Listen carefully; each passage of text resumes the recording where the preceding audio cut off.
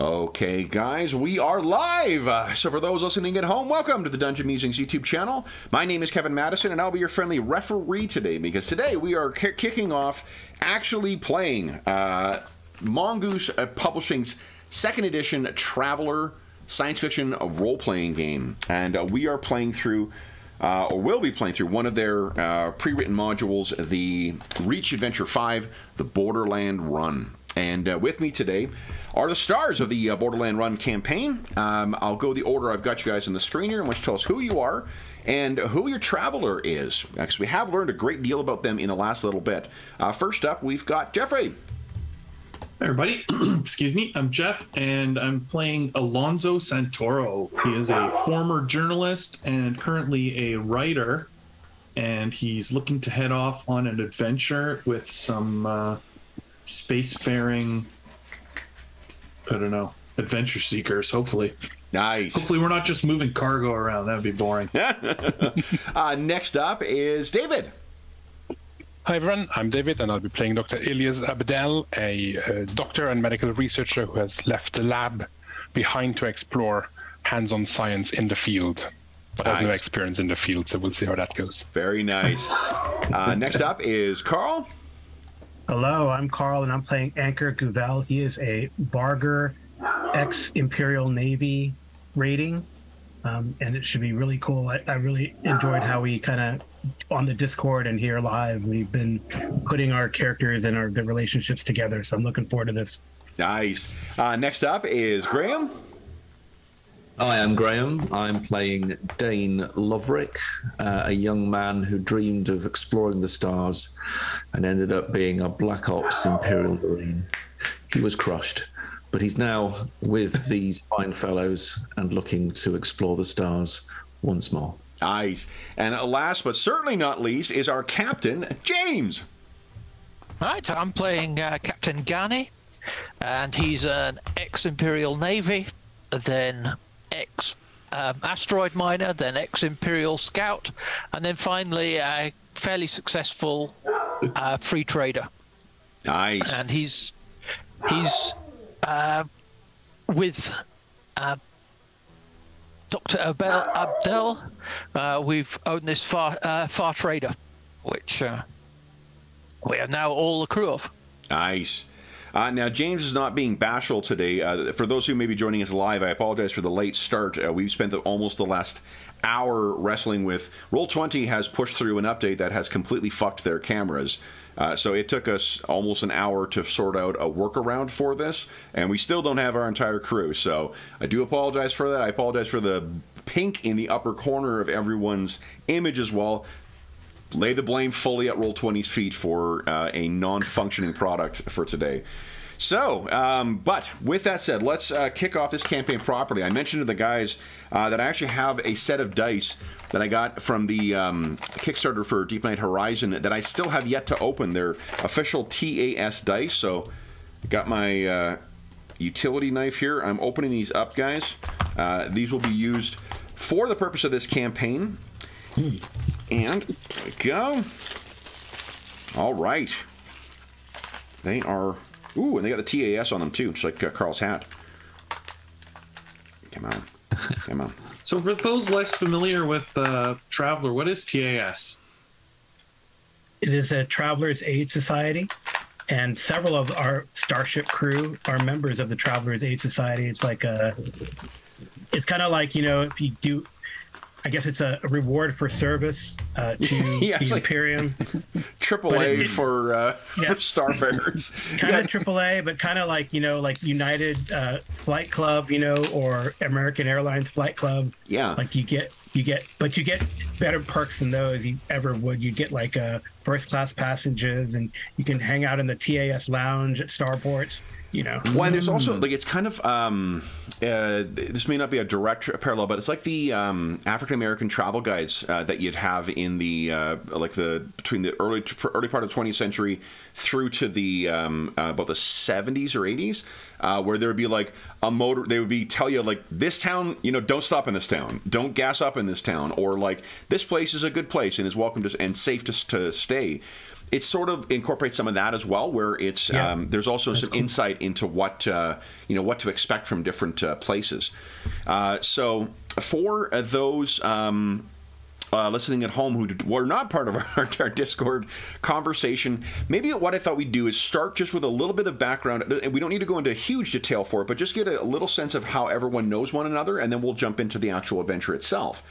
So, what are some of the, uh, for you, the players, what are the meaningful or significant connections in your past history or whatnot that uh, you have found over the past two weeks? You guys can go in whatever order you like. All right, I guess I'm gonna go since I'm. It's at the top of my head right now. So Anchor. So he has. I mean, he's.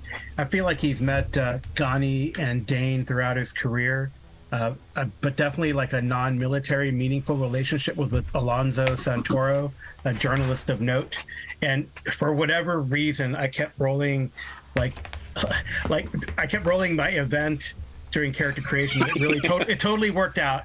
That he throughout his imperial naval career, Anchor has been unraveling some sort of conspiracy, starting with with uh, you know uh, I guess uh, reappropriation of funds and corruption, to mutiny, to trying to sabotage imperial ships, and finally to this big conspiracy. So early in his career, when this was first starting, he met up with Alonzo and and you know kind of shared his conspiracy theories, but the probably I don't know I don't, I don't know it's up to Alonzo if he decided that they were valid or not, but that's how he, he definitely met this uh, this high uh, high profile journalist, um, and then with um, uh, with the interaction with through the Imperial Navy, the most significant was with uh, I decided was with, with uh, Dane Lavrick and the Imperial. He, you know, so the, so Anchor is uh he's kind of he can pilot, but he's not quite he's not an officer, so he'd be like kind of like a he could be in special ops, but not driving the main ship. But he could definitely drive like ship's boats, and perhaps he was associated with Dane Lavrick's Black Ops crew at some point in his career, and was like the pilot, got to interact with these Marines and and learn some fighting skills. So, so that's a Nice. Okay. Well, I might as well go next because you mentioned our relationship. Um, yeah, I don't know if he fully believes, Alonzo fully believes your full conspiracy, but definitely parts of it were true because we followed up on that and uh, I actually took down a corrupt uh, politician on my home world uh, using some of that information that you had provided. So at least some of it holds water, and I think he. Uh, at least entertains the idea. Maybe he's got he's kind of hopeful that you're right because you know undercover uncovering this huge conspiracy and uh, being a part of taking it down would definitely be the kind of stuff he's looking for for his novel. So, you know, he definitely entertains it. Um, whether he you know thinks it's all true, he's not 100 percent sure. And as far as the other guys, I don't I don't know if I created if we created any more connections that I remember. Yeah, I think. Yeah. um, I might have heard of some of you, uh, you know, some of your exploits because I definitely, you know, follow the as a journalist, follow the news and follow what's going on in the sector, and some not. of these background stuff that you guys have, as far as uh, big might have been- news. you what might have what would have been big news? I would have definitely read about it and kind of know who you are a so little that's bit. that's through actually a good opportunity to talk about um, long like w- one of the sort of assumptions about technology in traveler is that uh, it's kind of like pony express um, where news travels at the speed of ships so Right. ships can only um, you know you only really learn the news and remember that uh, traveling between parsecs takes usually about a week so news from another uh, parsec, like one hex over, i or maybe two or three if it's a more advanced jump engine, it's going to be minimum one week old. And more often than not, it might even be older than that. Uh, Right. That is, I mentioned that as well because that is one of the, like, it's a very poor paying thing, but if you can't find any other kind of work and you need to get stuff on, you can do a mailship run. So, um, that's wh- when I would just I say. used to be a uh, courier as well. I used to Oh, fly yeah. the Jump Six. Oh, uh, so maybe, I, courier maybe boat. that is how we met. As if Yeah, I'm waiting be. for the news all the time, you know, and I'm into that, reading the news from other sectors, you know, meeting with the actual courier to get the news as fresh as you can might be a way that we met. So let's talk about well, quickly uh, nomenclature as well. uh, for this because uh, sector, subsector, parsec. I'm, I'm throwing around a bunch of things here. I'm bringing you over to the map for the Trojan Reach sector. Nice. Each sector is made up of uh, I can't remember 12 subsectors, 16 subsectors, 16. 16 subsectors. Uh, each of the hexes is one parsec, and going from one to another, whatever your jump rating of your ship is, that tells you how many parsecs you can actually go. Um, yeah, me as well. The the tra- traveler maps are fucking awesome. Um, the uh, where you most of the, the the characters that we've talked about thus far are from is somewhere in the edge here of the Third Imperium. I know that Dane is from Alba here. Yep. Uh, the places where we were talking about the other characters being from were around here. And then there was, um, where is that? Uh, the Yeah, one uh, Anchor is from Darshona, which is like here. oh nice. Okay. Yeah. And I'm a little bit down from there as well. I'm Okay. in Ardassi, which is about five down and one to the left. Excellent. And then Oh, let me nice. look at. Where did I say there was that pharaoh? That was Simok. uh, s- of which? Simox? Simok. Yeah. Oh, perfect. Yeah, yeah, yeah. Right. Great. So this is to give you an idea just of how far you've come. Where our uh, adventure will be taking, our start and kicking off is on Spurl, way down here. Uh, on the edge of kind of in, it's called borderland because the adjoining sector is pretty much empty space and one of the troubles uh, one of the limitations for travel in uh, traveler is that uh, you need to be able to refuel like uh, unless you can bring extra tanks with you to do a second uh, jump but like if you don't have enough stuff for say the ship that you have if you carried a secondary like a, a secondary set of fuel you could go a maximum of four hexes. So like crossing the distance here unless you've got a really advanced jump drive you're just not going to be able to do that. You have to sort of work around where you're going. And then you also have to you know if you have if you ha- your uh, ship has access to a fuel scoop you can try and dip down into the atmosphere of a gas giant refuel that way and then make your next jump uh, after it's been processed properly. But uh, otherwise if you don't have that you need to jump to a place where you can fuel up where there's, there's a starport. So uh, to give you uh, guys an idea, like you all sort of grew up here on the edge, and the, the Third Imperium, to give you a sense, looking down at the bottom of the screen, there is the actual Imperium map. And let me move this up just a scooch. I moved it too far down. But you can give an idea of just how. Oh no, I, I did. Yeah, never mind. There's just not that much more of a map. Um, right down here, this is the Imperium in general. It's huge, sprawling interstellar empire. And this teeny tiny little box here, that's where we're looking. And the red area of the map, that's this tiny little slice of the Imperium that has any kind of uh, authority over the reach. And this is frontier space as well. So, i- although it is under imperial control, this is borderlands. This is on the edge of, of kind of you know civilization. The name that's that is sort of given to the Trojan Reach.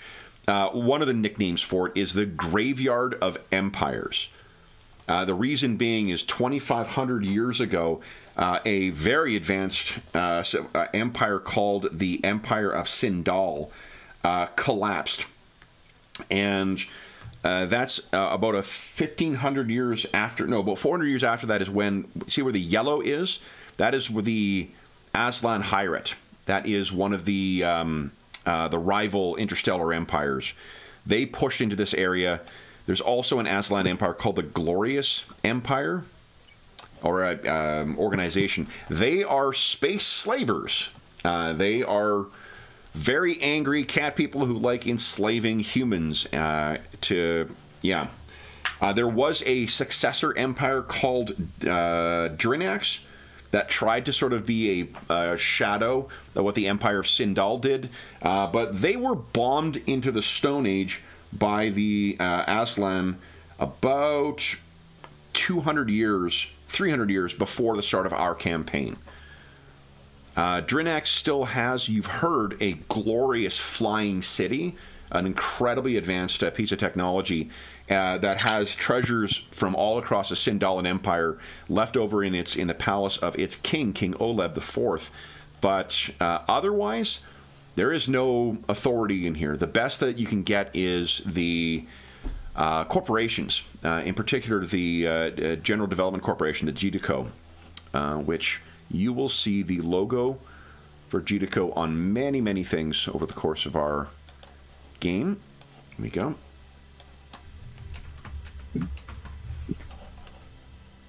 And uh, if you don't have, here we go, guys. There is the logo. Oh yeah. Uh, if you don't have, oh, because you're refreshed too, Carl. I think your audio may have came back on too. Um, Yeah. The um, Take that one. oh, in uh, roll twenty is what I mean, uh, Carl. I got you muted. I got you covered. Okay. Okay.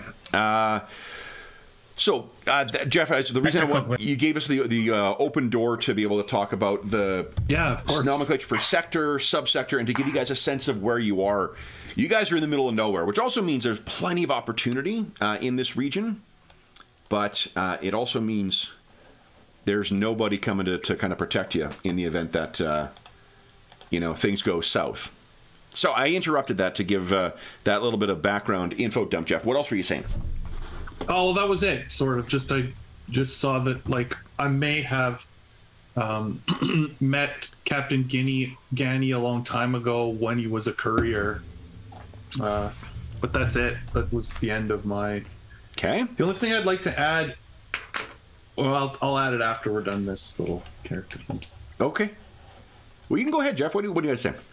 Well, I was just going to say that I have some credits left over, and um, I think that he's interested in purchasing some uh, cargo. Uh, he, he said he didn't want to just Yep. move cargo around, but he is he would like to purchase some cargo to move around. So here's the thing. I really don't care for work all that much, but I do like the money that comes with it. So Yeah, exactly. I know it's I boring, suppose. But well, that is wonderful to hear because we are going to be starting. We're like our um, uh, Kingmaker campaign. We're going to slowly. We're going to do a little bit of uh, a session or two of kind of getting our our sea or space legs, as it were, and then kind of launch into the adventure itself to get to know these characters and how they interact.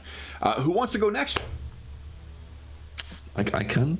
Um, Dane Loverick. Um, yeah. Uh, uh, Anchor, um, w- we've known each other for quite some time. We've uh, on and off, and what Anchor's provided really is targeting solutions. I mean, the way he puts it is conspiracies. You know, uh, all possibilities. We don't deal in possibilities in the Imperial Marines. We deal in terminal solutions. We get orders and we execute them, and we did several times. Um, sometimes the targets weren't the right ones, but you know, uh, it was an order, and so we we carried it out. So I've got a lot to be grateful for in a way, um, and also. In a similar guise, and it's, uh, sadly they've only seen me perhaps at, at my worst. But you know, what the hell, uh, Doctor uh, Abdel. Um, there was a definitely a um, yeah, there was some uh, industrial uh, um, complex uh, issue which had to be resolved. And we, we, we got a solid tip off from Dr. Abdel about that, and we, we worked together on that. So- Yeah, and that was a, a pretty that was a pretty thorny one as well. Um, one of the most interesting, one of the things I, I do love about this too is uh, it reminds me a lot of the old Greyhawk Grass, uh, Ga- uh, Gazetteer, the box set, where they give you little blurbs about a about a nation, and then you can just make up whatever the fuck you want. But it had interesting little tidbits. The si- similar thing for this, like the I used uh, uh, content from the Borderland Run, but also from the um, where is it here Trojan Reach uh, setting book because that came with I don't know where the heck it is. Oh, it's in front of me. Boom! With the Pirates of Drinax campaign, it's got a bunch of little bits of information, and one of the uh, worlds that we found in there was this neat, this uh, a, low, te- relatively low tech world that had nuclear weapons, but ha- was ruled by a genetically engineered pharaoh uh, and it turns out that some of the, the uh, pharaohs, uh, some nobles didn't like something that was going on with the, the pharaoh, so he marched his armies out, and they responded by using nuclear weapons on his army. Uh, it turns out there's very little defense with, uh, you know, um, motorized uh, infantry when you're using nuclear weapons. Uh, there are uh, corporate interests. There are uh, rival, uh, you know, there were rival interests on the planet um, in, in, different factions, and a lot of resources at play. It was an amber-controlled world, so it required a very delicate solution and a very careful application of some horrific levels of violence in uh, some cases. That would have been, I believe, the last time that Dane was involved with something, and uh, Dr. Ilias, I believe you had an involvement with that as well. Uh, yes, so Dr. Ilias grew up on Tobia, uh, quite sheltered upbringing, then went to university, uh, became a doctor, became a researcher, still very sheltered. Uh, and then this problem of the uh, future of, of, the, the Pharaoh's line came up, and, and the, the, research corporation he's working for decided to, to throw some money at it. And uh, as a geneticist and doctor, he felt quite compelled. So you might have been interviewed by Alonso just about the research in general or, or, or something to do with, with, with medicine. But then also had to learn that the corporation he works for does have its fingers in many different pies involving bioweapons and other sort of uh, industrial military complex issues. Hence, how he met Dane uh, and had his eyes open to that some of his research, while he wants to use it for good, can be used for less good goals.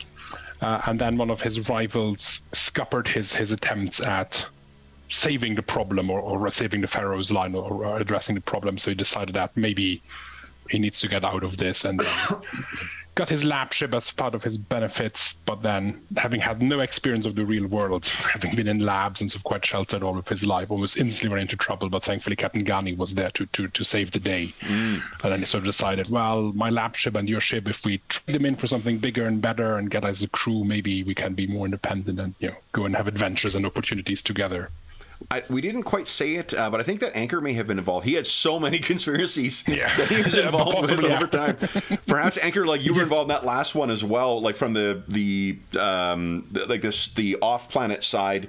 Dane may have been mm-hmm. involved with more of the hands on stuff, and Dr. Elias was involved in the because I I for uh, like I we don't need to necessarily go into the particulars about it, but I kind of foresee it as being this like military strategist involved, and there's you know different corporate rival corporate interests involved, squabbling, you know, uh, genetically engineered um, uh, noble families who are involved because you know it's more it's more than just having like the blood of kings, like the tailored you know TL thirteen Superman or woman or person who is ruling the Pharaoh, your genetic line gets to then become, you know, not chosen by God, but chosen by science. Uh, and then would have likely the, um, you know, I mean, maybe this is what uh, happened, Dr. Ilias, is that the intention was uh, was to uh, falsely engineer a genetic flaw that would require persisting treatments that are only available at TL13, like a poison pill clause. Like, well, hmm. you know, if, if you don't, literally in this case, if you don't work with us, then I guess we're just, your mm-hmm. line's going to, you know, squash yeah. out or whatever. Um, and that perhaps may have been your breaking point.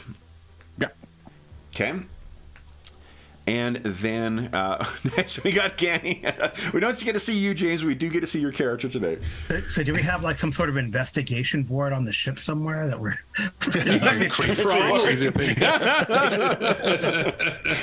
yeah, uh, Carl, you saw what I could do with one city in Paradar. I have an entire sector to go with now. So. Oh, I know. Um, sorry, so I interrupted there. Uh, uh, Ganny, or Captain Ganny, you have shared some uh, a bunch of uh, great uh, background for your character earlier today. You've you have some ways to link in Captain Ganny with some of these others. Yep. So at you know he was 12 years in the Navy and a sub lieutenant in there, and his last mission was, I believe, involved Anchor and Dane Lovric as well on some special ops mission that uh, went tits up, and uh, and Lovric were um, manning the turrets actually on the ship. I managed to more or less retrieve the mission, but I still, Captain Ganny still took the blame. He didn't have the right connections. He's not from the smartest background, so uh, he got kicked out. And then the rest of his career went on. And fairly recently, while being a uh, merchant on a far trader. He uh, ran into uh, Dr. Abdel when Dr. Abdel's lab ship got into difficulties, and the ship that uh, uh, Captain Gani was on was able to uh, come and restart his jump engines, and that's where the two of them met. When Gani, who's an engineering officer, was uh, able to get the engine sorted out in time before uh, the lab ship got into deep trouble. And as we've heard, you know, he's had connections in a previous role uh, with Alonso Santoro through uh, his f- fairly brief career as a uh, X-boat pilot. Mm-hmm.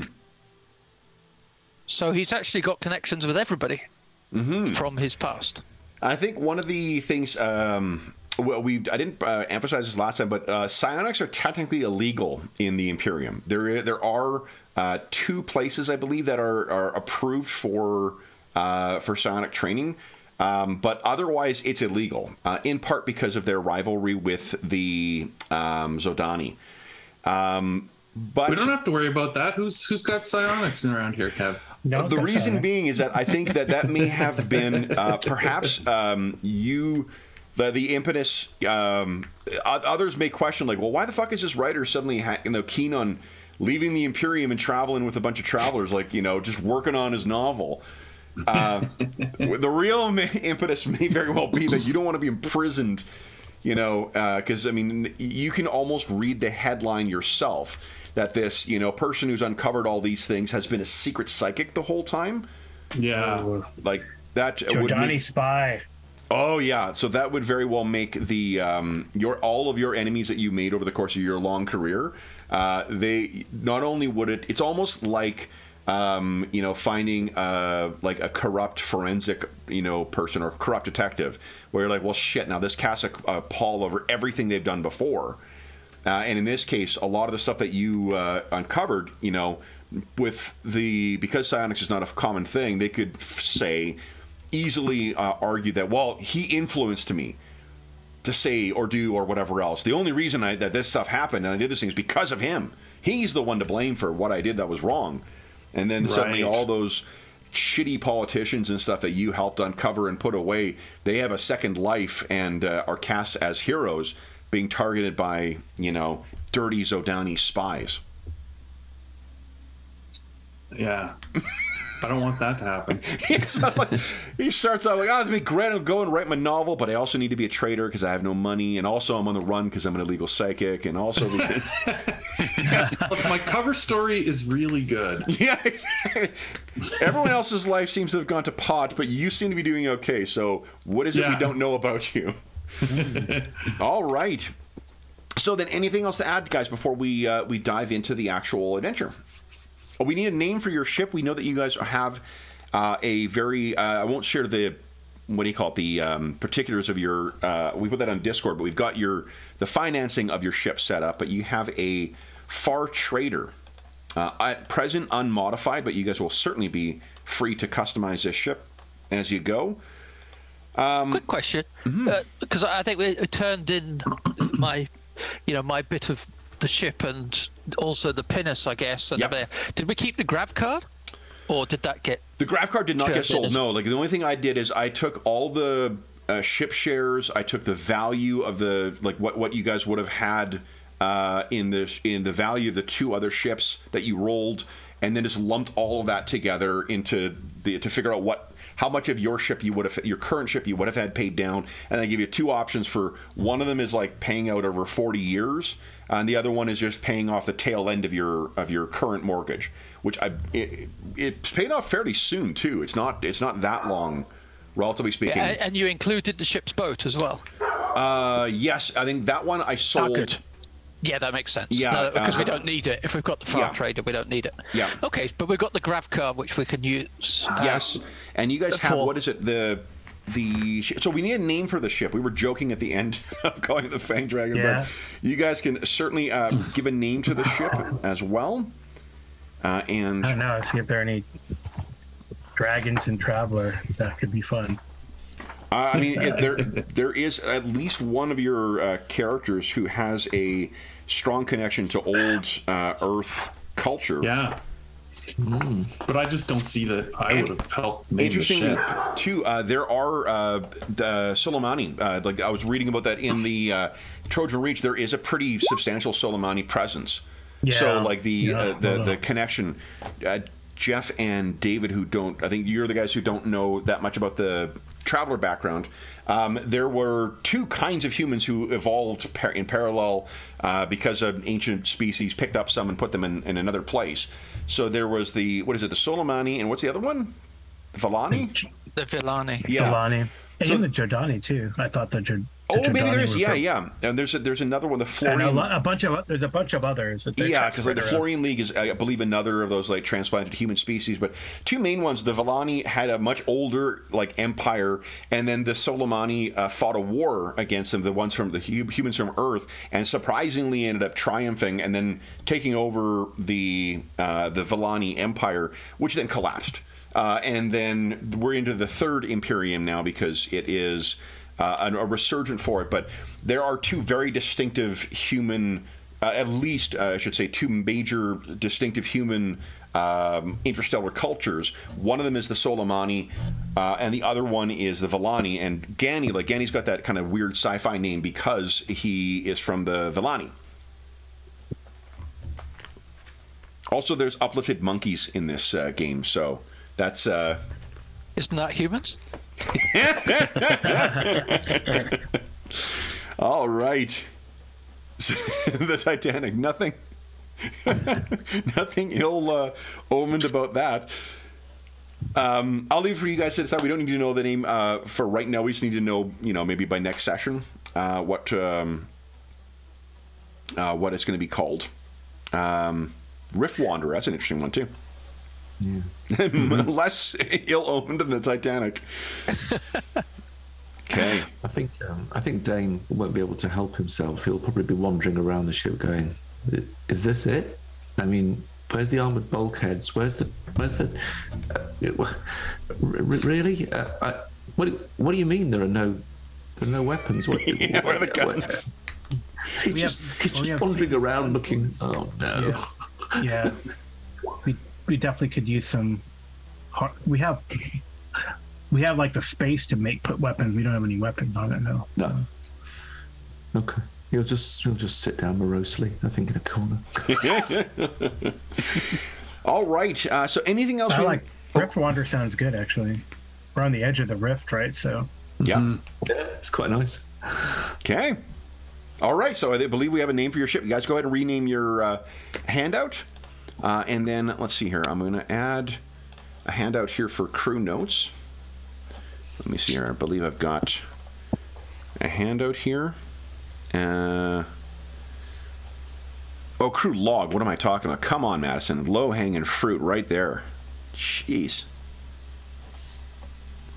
Where is it here? It's funny, I don't even see any hard points on it. That's kind of unusual. Crew log. There we go. Oh, there you go, guys. And let me uh, just edit it so you've got you can edit that thing. So if you want to keep track of any notes or such, you can put that in there. And then why don't we have cargo as a separate thing as well? And you can include all your stuff in there. And that one will use. Let's see here. Uh, uh, uh, uh, uh. Why don't we use? Uh, yeah, da, da, da, where is it? I'm trying to find the. Yeah, there it is.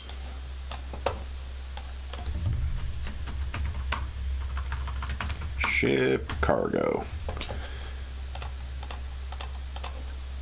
There we go, and you should all be able to edit that as well. If you need any other handouts, let me know, and I'll, I'll uh, add them into the game. But those are sort of the bare minimums for most games we need. Um, then, um, if there's nothing else, guys, then our campaign will be kicking off about uh, I'm trying to tell him, Anna, um, about three months after you have taken control of the Rift Wanderer, after you've all come together. Um, in the film version of our campaign, we would open up with a shot of this beautiful blue world almost entirely blue. In fact, you can see there's very little land masses on there. And in, as is customary for, you know, sci-fi films, we'd see in white lettering that goes across as if it's being typed in a, uh, you know, Apple IIe monitor. Parsec 2824, the Borderland subsector, the Trojan Reach sector. Planet Sperle, S P E R L E. Our camera would then pan down to the surface of Sperle. Let me grab your tokens, guys, so you've got yourselves over here. I don't think we're tracking anything on them just yet, but... Boom.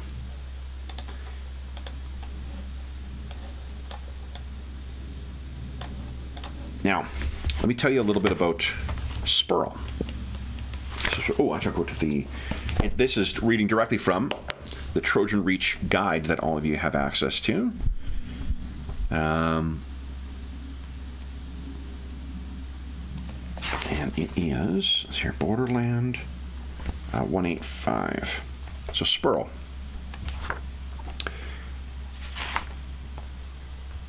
This planet is best known for the practice of hunting, and maybe we see, like in the film version, this would be like the uh, TAS travel guide.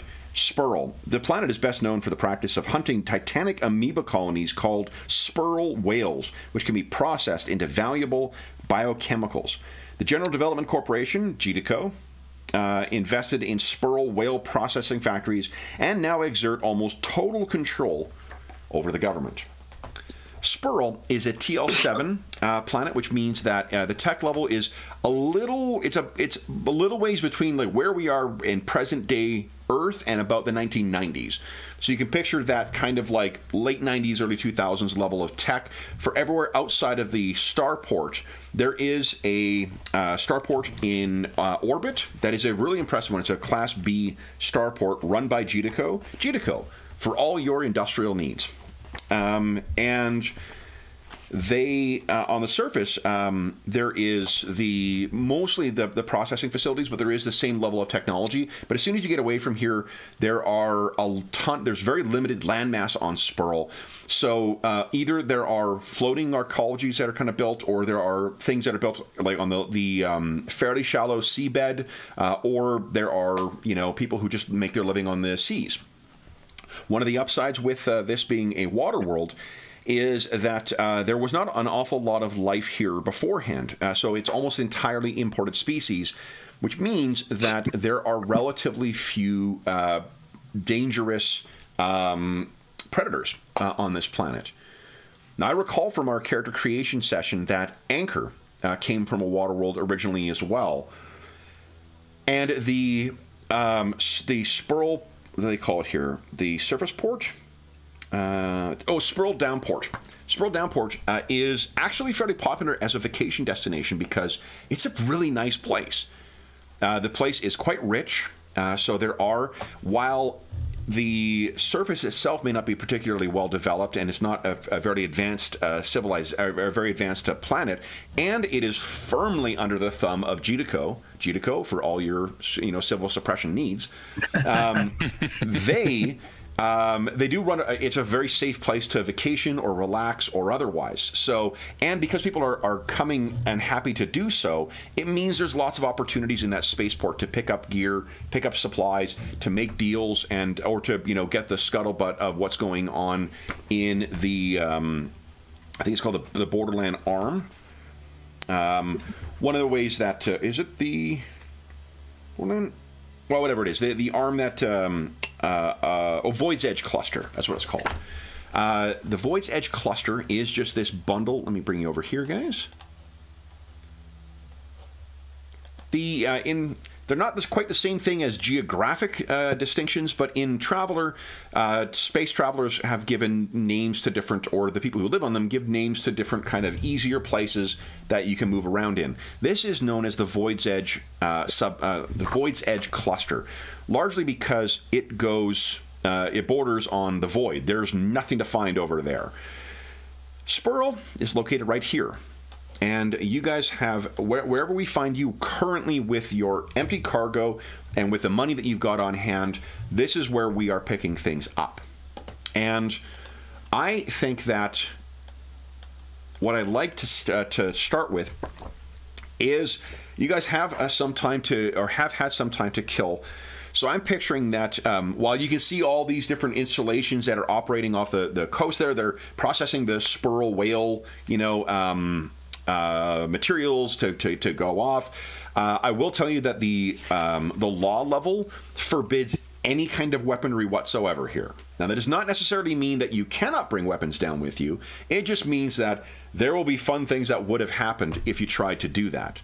So, um, what the way it works, uh, mechanically speaking, is at any time, and I figure it's worth going through this just because you'll understand every time you go to a starport, this is what's going to happen. You make a decision as to how you're going to um, uh, how you're going to you know bring things down. You'll know the law level of the local place, and then I make a roll against the law level, and if I succeed. So the higher the law level is, the more likely I am to succeed. The more likely there's going to be something triggered. And that can be anything from, hey, would you report what you have on you to, you know, guys with guns showing up and checking the whole ship. So, and that is largely related to how strong the law level is. So I picture that uh, one of the upsides you've got is that the um, the Rift Wanderer is equipped with streamlining. So that means it has no difficulty going from surface to you know to the uh, to space. So you could have easily landed at the downport, and that's I'm assuming what you guys did um, to have a little bit of downtime. What do you think it, has prompted this bit of downtime? Do you think it's you just happen to have some time between gigs um, that the, you guys needed after the last run? Um, that maybe you know one or uh, many of you thought that maybe some team bonding time might be of value. What do you guys think has been the first three months of traveling together? How have you guys gelled? We've heard that Dane is like, so let me just make this absolutely clear. There is no weaponry on this ship whatsoever. what do you guys Yeah. think? I don't know, Captain. What are we doing here? I think is anyone else from a water world? No. No. Okay, so then I think it's I mean- Anchor may have been the one you maybe you were uh, with knowing that you were here. Like it's rare that you get to a place that not only is a water world, uh, but also has enough techno like enough of a, a, a safe civilization that you can safely sail out and not get like attacked by you know uh, the like extras from water world, um, particularly in the Reach. Um, and it's an opportunity to actually like does does anchor i know he's got the sailing the like water you know sailing uh, skill Yeah. do you think it's in a motorized thing or is it like sail sail or Uh, it could be an, anything. I didn't. Let me see. Let me check what the. sure I mean, I, I think from Dane's point of view, you know, he's it was so traumatic. He he's still. I think he's still on wind down. Okay And and and if he's told, you know, we're going to like a water pleasure world, he'll just nod and, and smile and think, yeah, okay, I'll take a bit of that. okay I mean, sure. Why don't we go do some sailing? So that's what we see is maybe there is a, uh, and it's built in kind of a, um, to, to keep it in this sci-fi setting, like it's very much what we would recognize as a sailing craft, but there are different aspects with like, you know, maybe some Vilani influence and, and other like developments over time. Uh, it would have the, the level of accoutrements and like technology that we'd see in like a late 90s thing. So like there's going to be GPS on there. There's going to be um, just at, at a bare minimum, there's going to be engines that are advanced enough to be in that kind of era. Um, so in, in, in a pinch, if you need to get yourself back, you'll have that. Um, the uh, and then you're also whatever gear you have brought down will will be with you. But maybe we see just like uh, it's not like you see in the illustration here where it's overcast. It's actually a fairly nice sunny day. Uh, and you guys, there are probably trawlers going out to, you know, to uh, with a big Gedico logo on the side. Gedico for all your environmental degradation needs. Um, what you um, what, what you can see though is that you've managed to find a little patch of ocean where you can still see the you know the um, the starport, but you're having an opportunity to to actually relax. So anchors out on deck and maybe like you know getting the sails. Um, how is everyone else? So Doctor Abdel, um, Alonso, and Captain Gani. How are you guys feeling about this uh, impromptu break?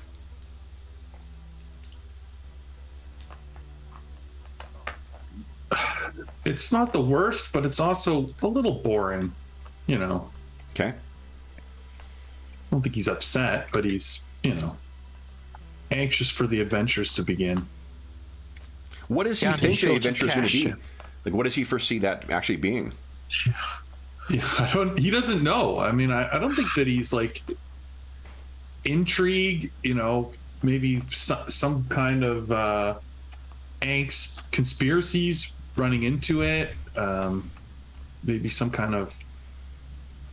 Uh, he doesn't know exactly, right? He just Does he have writer's block right now, or is he writing? probably he's Okay. you know he wants to write about an adventure and so you know until that event, he feels until that adventure happens he doesn't know what to write about and you know writing about leisure stays or you know time down isn't very exciting Okay. I don't know. Hemingway wrote a lot about that. so, what about uh, Captain uh, Gani or Dr. Abdel? I think Dr. Abdel is enjoying it. It is part of the new experiences he's getting, having now sort of left the the lab behind. But he's probably also sometimes checking the time and go like, "There's a recital at the resort later that I'd really like to go to." It, it's uh, so he's like just making sure that we not don't stay on the water too long because he's, he has a keen interest in, in, in music and art.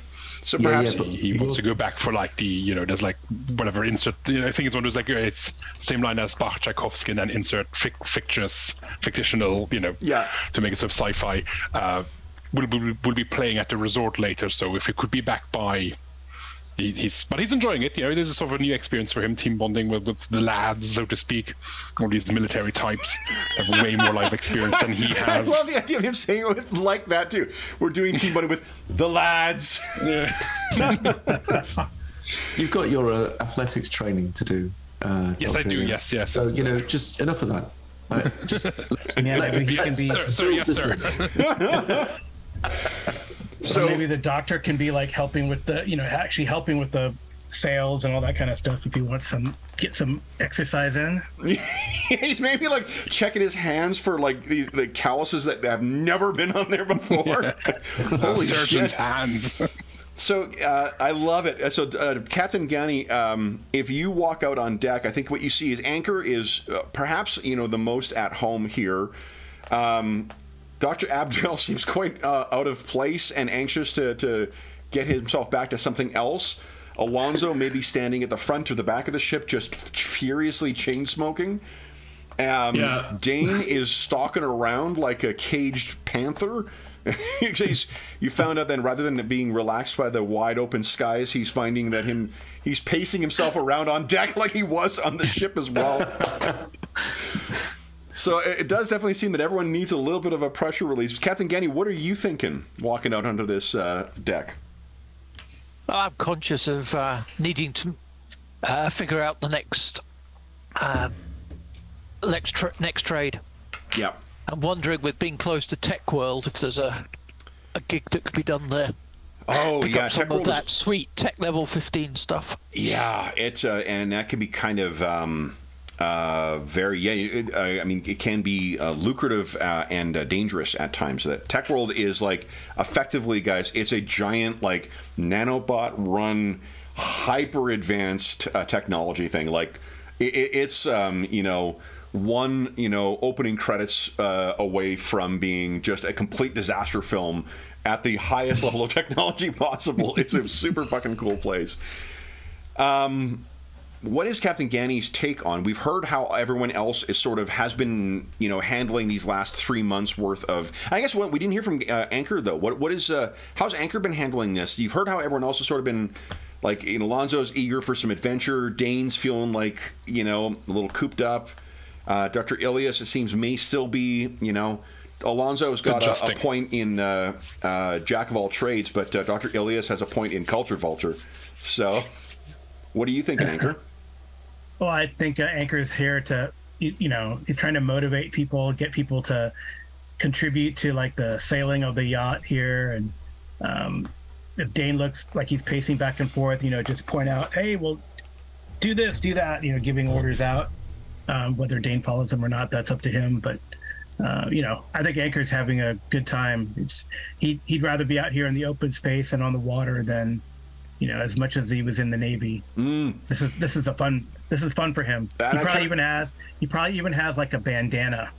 He's got a bandana on his head. You know, Fantastic. like an old old style Solomani pirate. You know, Yeah, yeah. And I picture him doing that kind of that dog thing where he just kind of sticks his, no- his snout up and kind of yep, yep.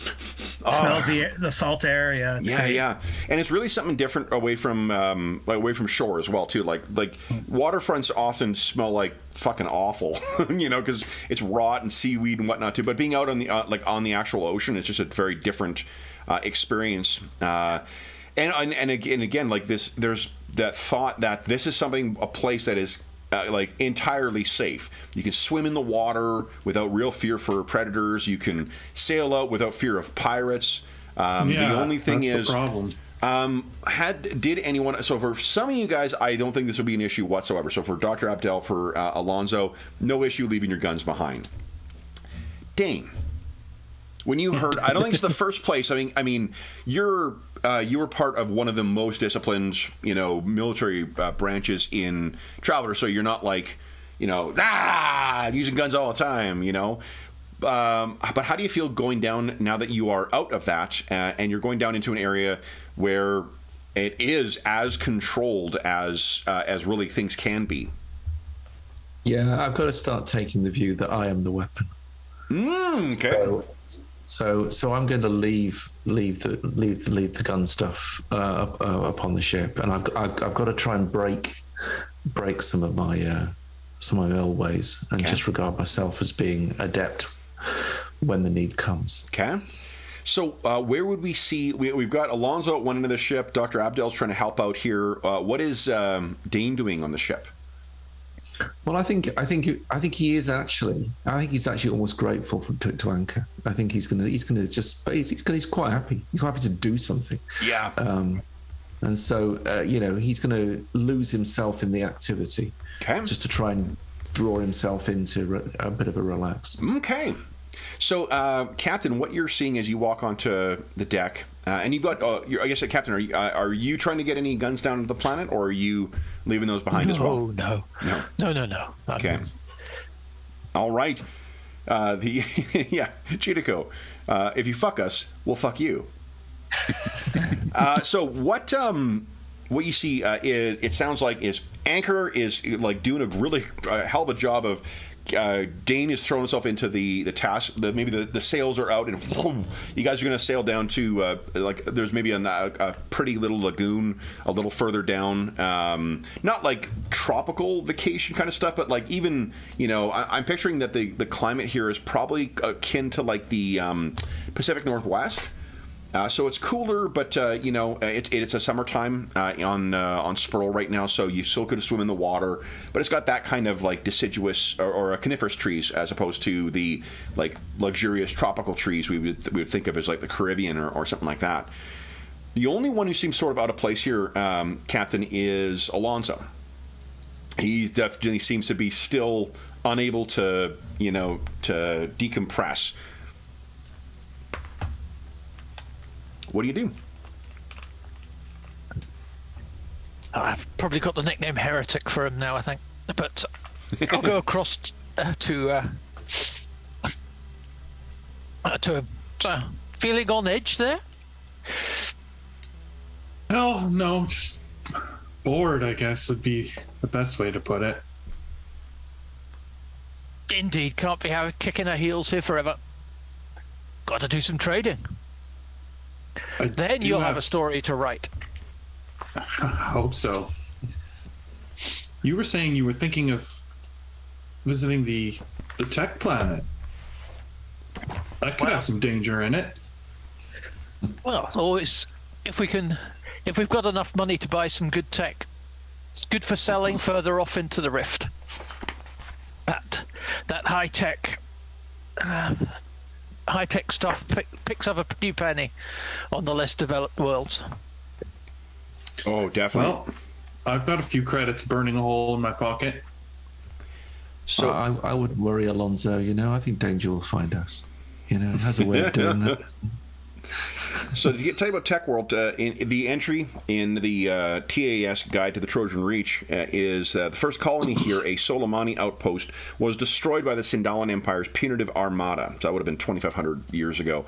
Uh, the world lay empty for hundreds of years until uh, the Judico funded the construction of a starport here. Judico.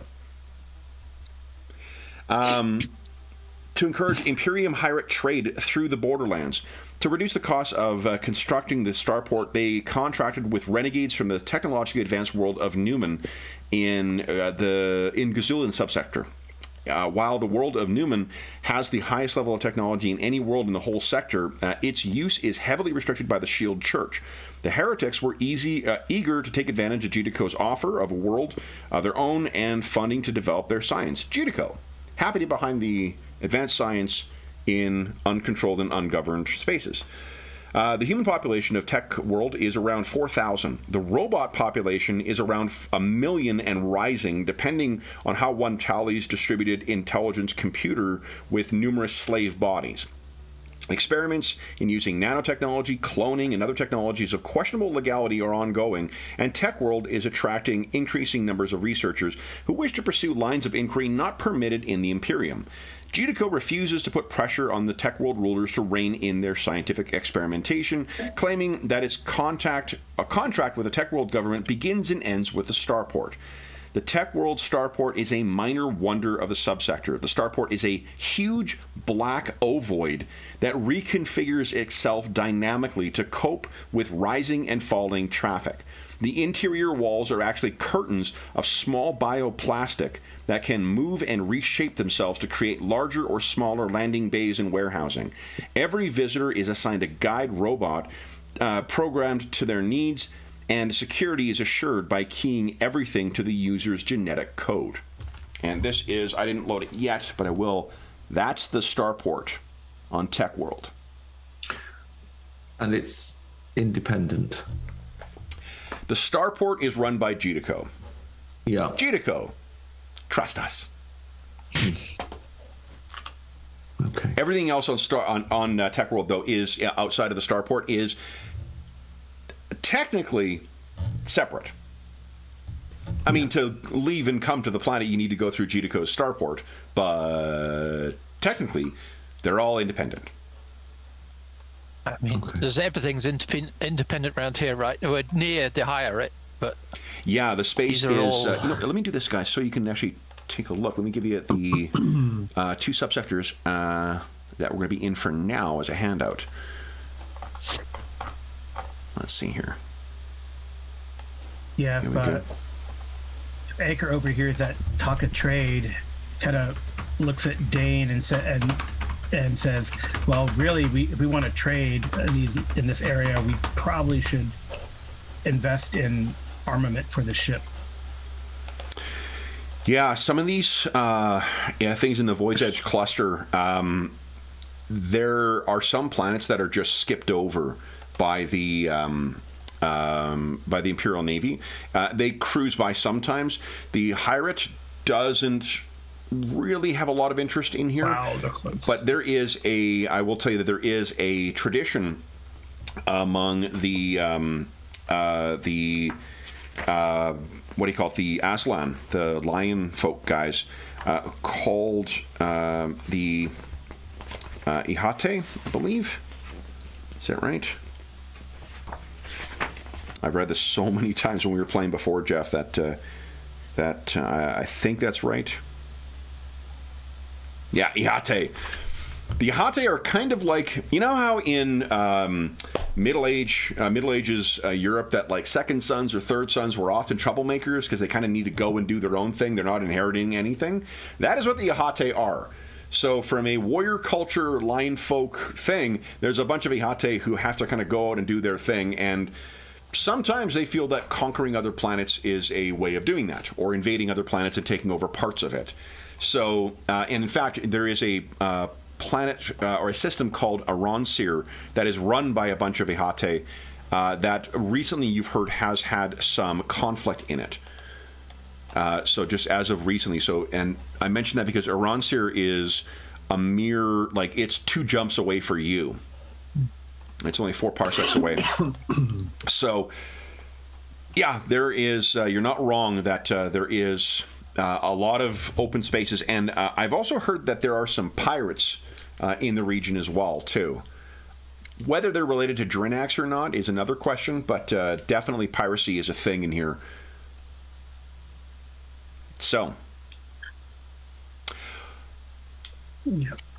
Captain Gani, you have your um, was it your transceiver as well too, right? Something that'll that'll constantly Yep. and it's it's portable. Yep. Yeah, It barely weighs anything. yeah. Here we go. Radio tran- up tech level 13. oh yeah, that's amazing, and a thousand uh, kilometer range. So you'll be in contact wherever you want. What do you think your computer looks like? Oh, again, It's pretty TL13. tiny. It's going to be, uh, again, um, probably about the same as one of those old tech level 8 uh, Solomani. Um, uh, A smartphone?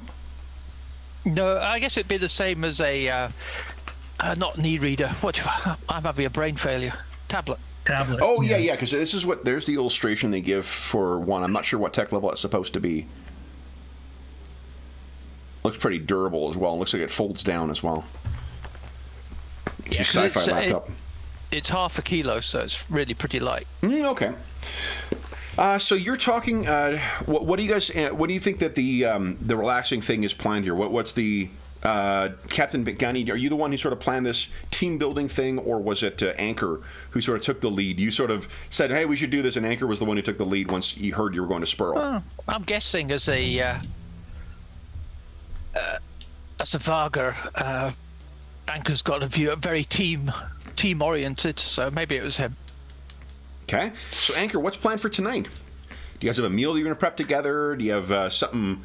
Uh, you, you can't really um, fish here because the uh, the, the Right. main things are going to be those uh, amoeba whales, and that uh, is the bread and butter of uh, Judico's operation here. Judico, don't fish. I think the plan would be to get a good meal together, and then, um, you know, some of us will go to the opera, and some of us will go bar hopping. Yeah, I think you've arranged for to be back in time for uh, Dr. Abdel's thing. So, uh, and, Yeah. and perhaps if you're wanting to be there earlier, it would be easy enough to to uh, charter like a um, uh, hovercraft or a shuttlecraft or something like that to come snag you, uh, Dr. Ilias or Dr. Abdel, to be sure to be back in time for that. Now I can use my grav car. Oh, maybe that's what you got. Yeah, that's maybe that you don't even need to worry about trying to service something on you know uh, on a relatively low tech world. You've got your grav car. Lot. Maybe that's what how we know it's a sci-fi thing is as the uh, ship goes away, we see there's a car that's kind of like tied up to the back of it that's hovering along. what do you think your grav car looks like? Well, traditionally they've got these weird open top things, don't they? Yeah. So, are we going to stick with that, or Your call. As a guy whose day job involves a lot of car accident stuff, I would not want to be the one to ensure Traveller open top drive draft cars. It's like that shit is hard to survive a collision in. And then I can imagine it being quite blocky. I'm going to say that he'll have uh, taken a ex-navy surplus one. Yeah, yeah, yeah. So like a kind of a, a more rugged overland thing. Yep. Okay. So uh, with a certain amount of um, basic armor, a, a bit of the equivalent of the uh, of a tech level 12 or 13 Humvee or something like that. Love it. Uh, it's taken us one session for me to shoehorn a, a grav jeep into here, so that's great. so you, um, yeah, you, that's how what the plan is for getting back. Um, uh, wh- who is involved uh, in what capacity for prepping the meal? Anyone just sitting back and having a cocktail, or are you guys actually? Um, anyone actually enjoy? Any, anyone's character Yeah, actually enjoy that stuff? We can't fish, but I guess we gotta, you know, we can't fish ourselves, but I guess it'll be. Yeah, you brought plenty of supplies for from the uh, starport. One of the upsides of that is that like a lot of the vendors there, again because the the um, Sperle Downport is a is a nice place for people to relax. Uh, it also means that those local vendors constantly are buying stuff from all over the place.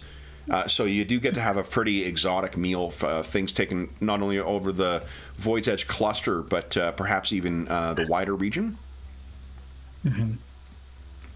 And there are going to be like um, things beyond just the uh, sperle whales that are caught. So you may have some exotic seafood uh, that you could have purchased. You just can't try and catch it yourself. I don't think. Right. Cool. Yeah, so I think it would, I feel like it would be that. Okay. So I don't know if anyone is a. yeah. anyone. I don't think anyone has. I don't think anyone has like cooking. Okay. So perhaps Dr. Abdel is the one who picked out the liquor uh, for uh, to go with dinner. Actually, Dr. Abdel is a teetotaler. oh, I see. Okay. So then. Ever since that incident at university, he's Oh, good call. So perhaps then it is the, a. the um, vileness of. what do you call he's happy for others to partake. Uh, maybe he then uh, it's a non-alcoholic uh, aperitif of some kind uh, that he has purchased lo- that will you know be something beyond just local water or you know uh, whatever other kind of you know um, non-healthy drink is uh, is there.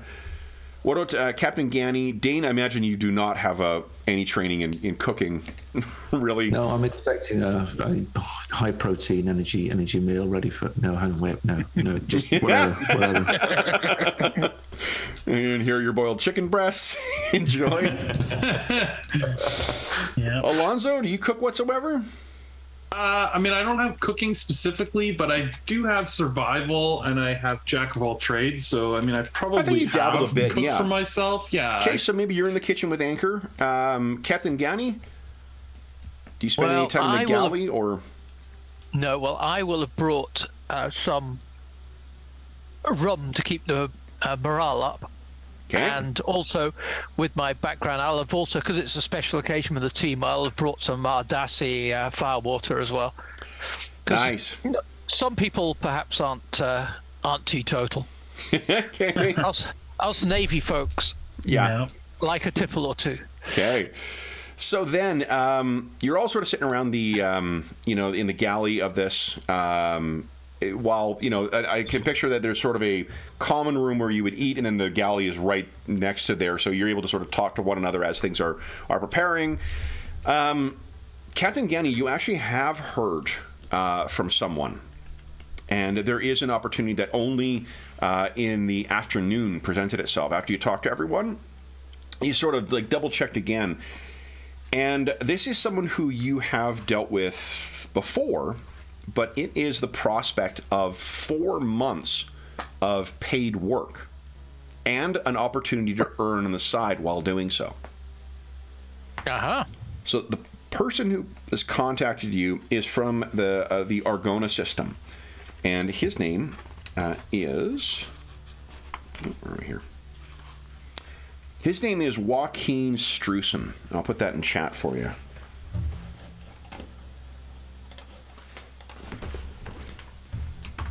Joaquin. oop, They're one jump away.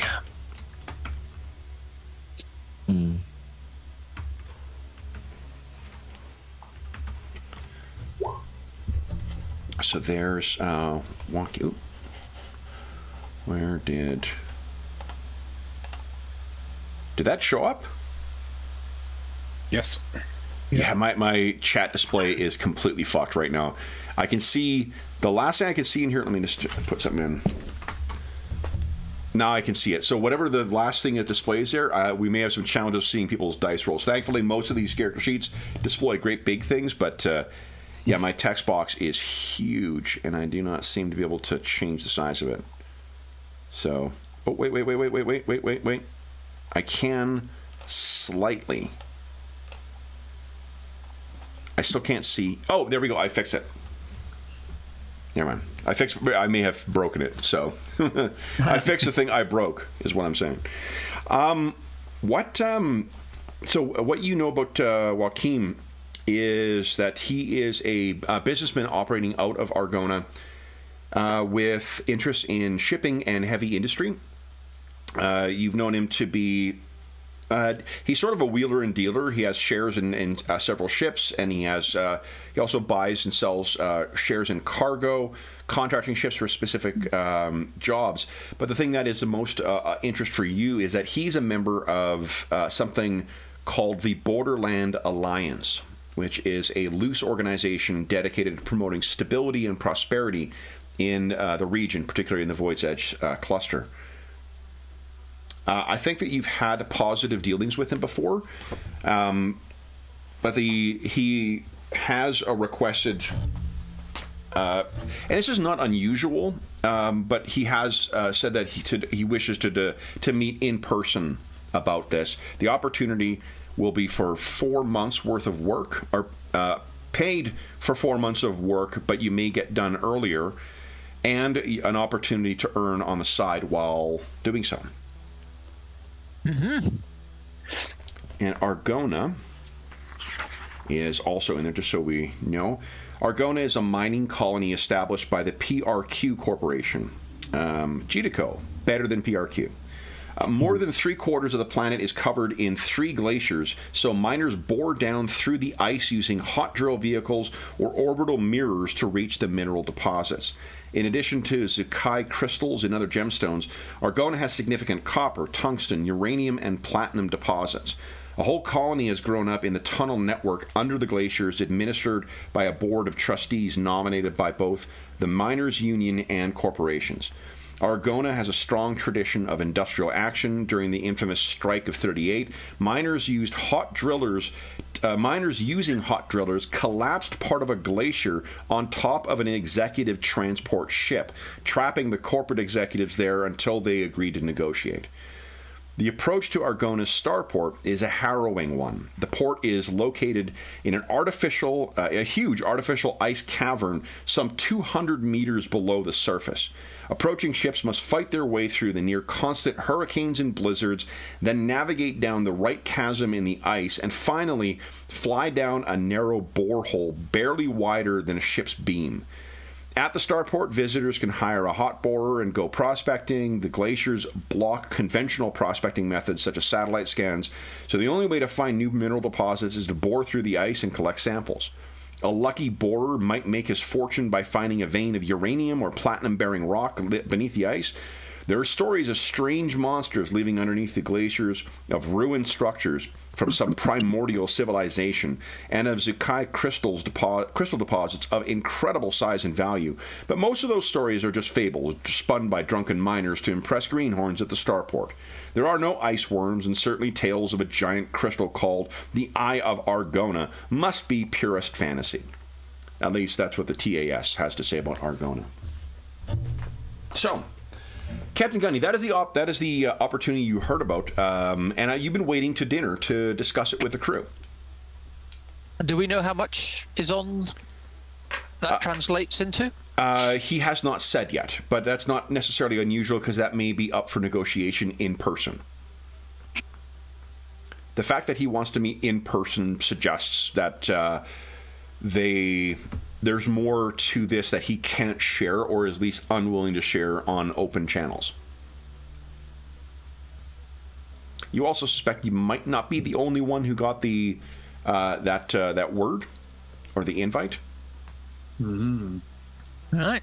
Well, once we uh, get to sit down and have whatever um, tofu feast Dr. Abdel has come up with, um, I'll saying, um, lads, I may have a proposition that'll give us a little bit of action coming ahead. Four months of paid work. And I don't know about you, but I could do with the credits. So, four months and only uh, a jump two away. Although it's a lot less uh, hospitable than here. So, danger, you're saying? Cold. oh. I think if he tells you, uh, or if Captain Getty mentions Argona, you can assume each of you sort of call up. If you're not familiar with it, you call up the information. You can what I read out to you. You would know that now. High Station Zebra. Yeah. But a bit of trading, or we can try and uh, ship some of this pearl whale antifreeze over to uh, the planet, and maybe there'll be some good crystals, uranium that we can ship back. Uh, could be good business there. Yeah. So it's trade. You think he's looking for a, a trade vessel to, to move goods around? Guessing. But- So it's not just like uh, we're hauling uranium. We're going to be mining uranium. No, I'd be guessing we're hauling it. Yeah, he would know your skill set, and the the important part that he's saying, if he's saying you can also earn on the side, that means it's probably something of high value that doesn't take up a lot of space. Which uranium might spring to mind, or or gemstones. Or Zuchai crystals, maybe? Yep. Or the Eye of Argona. Or monsters. But Monster. space to bring some extra cargo. But it's a commission. I mean, it's not just free trade. It's it's it's a paid job, which is interesting. Yeah. Credits are always good. I One- must admit. A flat fee for a length of time and getting still paid that while for the duration and uh, getting a chance to earn on the side. This is a very, and to give context, it's a sweet contract that you can't expect to see qu- very often. So there must be a catch. Oh, most definitely. It just has to be. Okay. Right. It's all. It sounds too good to be true. And Well, and the fact that there's no, no particulars shared with it as well, you're not wrong to think that, oh, this is unusual. But that is, you know, no risk, no reward is sort of the uh, the motto. Except for with Yeah, we could GDCO. meet GDCO them. is don't risk, just buy. we definitely could meet with them and see what happens. Or is he just going to meet? He just wants to meet with you, Captain. He'll want to meet with the crew. Okay. Especially with a small crew like yours, it's not expected that, that like one person uh, says something and everything goes. Um, it's expected a lot of these things, uh, especially for free traders like um, Captain Gani and, and your crew. Uh, you guys are expected to have a say in it, kind of like you know pirate, you know democracy. Yeah. Small unit tactics. Yeah, it's it's the same thing. Yeah. exactly. Less dead folks in foreign lands, I guess. In uh, in, the, in the prior case, no. If it's a pirate, then probably not. Actually, it's exactly that. so, what that means to give context, uh, so there's a couple of things you can do. Right now, you have an empty hold, and you you guys have a bunch of, of uh, credits left uh, over. Couple things you can do um, with guaranteed. Uh, well, there's a couple things involving um, transporting things. You can try and find passengers who might want to make their way to Argona and uh, try and just ferry some people there. I can't remember if the We, I think we do. Wanderer has a low berth. It does have. We do have low berth. Yeah, you got so you got six low berths plus uh, enough space here because you guys have. I'm looking at the the layout of the Far Trader right now. Seven other staterooms too. Yeah, you got a lot of staterooms as well. So there are six of you, five of you, uh, and let's see here.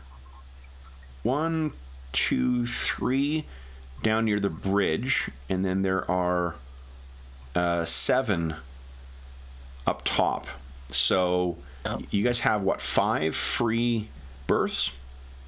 Uh, so Yep. six uh, low berths, and then five, I guess, regular. It says it says standard times ten, low berth Yeah, times so six. Oh, there, yeah. Instead of me reading off the map, I can look at the actual particulars. Uh, You've got to count off the map because I it's so lovely. okay. it's it's a fun, the yeah. lovely maps. So what that means that is one way uh, of earning. In addition, and this is not uh, in it, not uh, separate from it, you can also cover freight. Uh, one, there are two different options there. One of them is just to so secure freight fees. People want to have shit moved around, even in the Void's Edge sector. See if there's some stuff available here. Pick up the cargo, transport it. You don't need to worry about uh, investing your own money. You just need to transport the stuff. The other thing is is speculative trade, speculative trade, forgive me, or smuggling. Smuggling will be challenging in a high tech level world like Right. But not impossible. Speculative trade is just investing your own money into whatever uh, is available and trying to sell it where you're going for a higher fee, or just keeping it on, uh, you know, in your cargo hold until such time as you find a place where you can sell it for more. So, what you guys can do here, even though this is a fairly low tech world, as I said, it's a high, it's a pretty big um, starport, and there are people from all over the place who happen to stop here because it's a nice, the downport, Sperle downport is a nice place to relax. So there may be more opportunities for unusual cargoes. The way we do that is we roll randomly to see what kind of cargoes are available based on on uh, some of your trading rolls and things like that. It's not called Yeah, trading. let's it's, see what's available. Yeah, I say I say go for freight and if to try to fill up as much of the hold as possible, and then if we have leftover room, then um, look for some the speculative, speculative. stuff. So why don't we do this? So do, How do much, we have any money? Yeah, how much This loose money does everyone have? Uh, uninvested uh, funds right now. What is Yeah, I your? mean, 950 credits. yeah, I mean, Um, I have 118,000 credits. yeah, and then uh, Anchor has has sixty five thousand seventy five credits. so how do you guys want to handle the uh, individual traveler's money? Are you going to invest it all and treat it like this is where operational expenses come from, like you know paying for fuel, like paying for paying for uh, berthing, paying for you know accommodations? Um, or are you going to keep your, your funds separately and then also what you can invest in in speculative trading or are you going to keep things separate Um, well, I was thinking of, you know, some of my money of investing it in some way to be like part of the ship's crew, right? Because two of the other guys, this is sort of their ship. And so, okay you know, having money involved to be a part of the ship's value. But, you know, I'm not going to give away all my money to that, hopefully. how much are you thinking of kicking in let's just we'll start we'll imagine that at some point you guys sat around you know and uh, started tallying together what your operational expenses are going to be? Well, why don't I put 100,000 credits into our ship money okay. for like buying buying stuff and then I'll keep 18,000 credits for myself. okay so that'll be in a bank somewhere.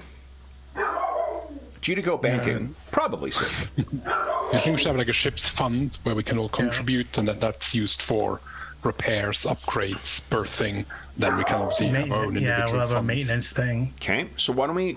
If someone wants, who wants to be the uh, quartermaster, uh, you'll be in charge of managing the ship cargo and adding and subtracting the the c- cargo as it goes, managing the ship's uh, expenses. By which I'm saying it's not me. Yeah, it's gotta be course. one. It's gotta be one of should be us. And, and also, Elias like, is it's- training admin.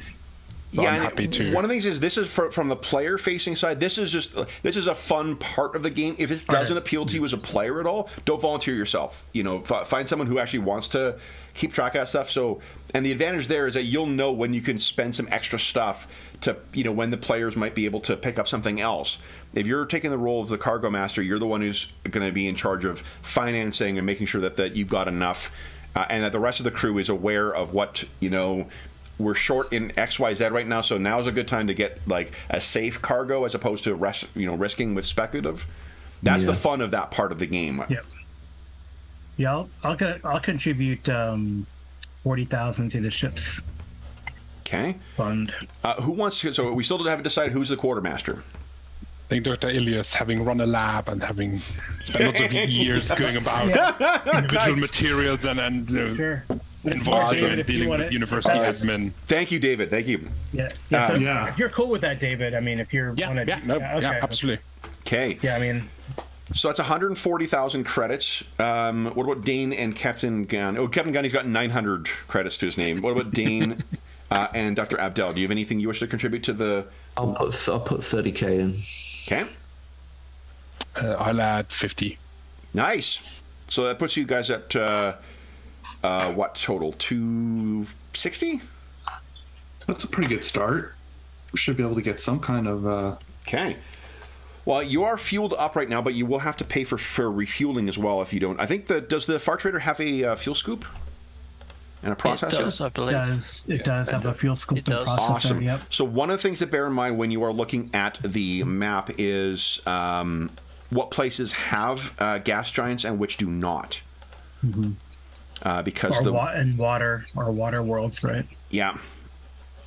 But we could also buy refined fuel from the starport. Yeah, you can buy exactly. So long as there's a starport, you can buy refined fuel, but the uh, uh, the others are for free. Um, and then it's it's the code or the um, uh, guide uh, is at the bottom of the sheet and the side of the sheet. This is actually from the back of the adventure, but for some reason they had the subsectors on one direction, they had the guide on the other, so I've cut and pasted it. Oh, yeah. It, it takes about a day for us to process fuel for our entire uh, fuel tank. Okay.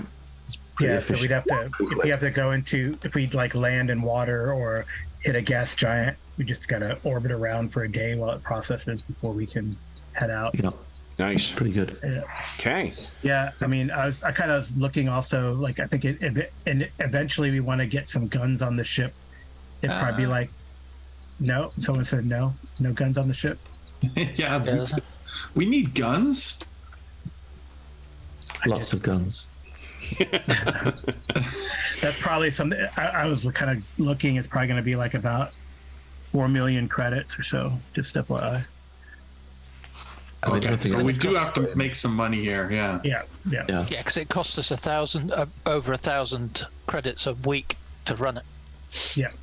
We can also put in defensive systems if we want to. Which, if there are Yeah. pirates around, might be worth it. Sandcasters and such are, are quite handy. I don't know. I was thinking of well, maybe Dan and I, Dan and I can talk it over at some point. Yeah, we can, we can go triple pulse if you want. I'm, I'm, yeah, I'm not triple gonna- triple pulse, maybe a close-in particle accelerator. So then, the thing to talk over tonight is um, the. Uh, I guess then you- you've got your what you've got in in terms of money. You want to see what is available. How, oh, how much cargo can the ship take on? That's 64 tons. 64, 65, I guess. Okay, and then what does the grav car take up? Um, I actually got Bear my vehicle book right here. That's. Yeah, there's uh, on the vehicle handbook. It's not that, is it? whoever the uh, the um, you know insurance lawyers are in the uh, Third Imperium, uh, they would call that uh, job security.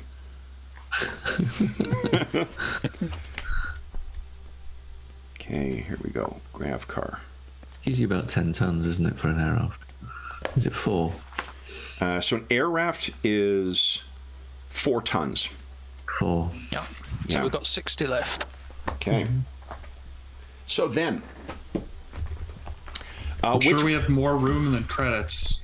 why don't we do the speculative trade stuff first?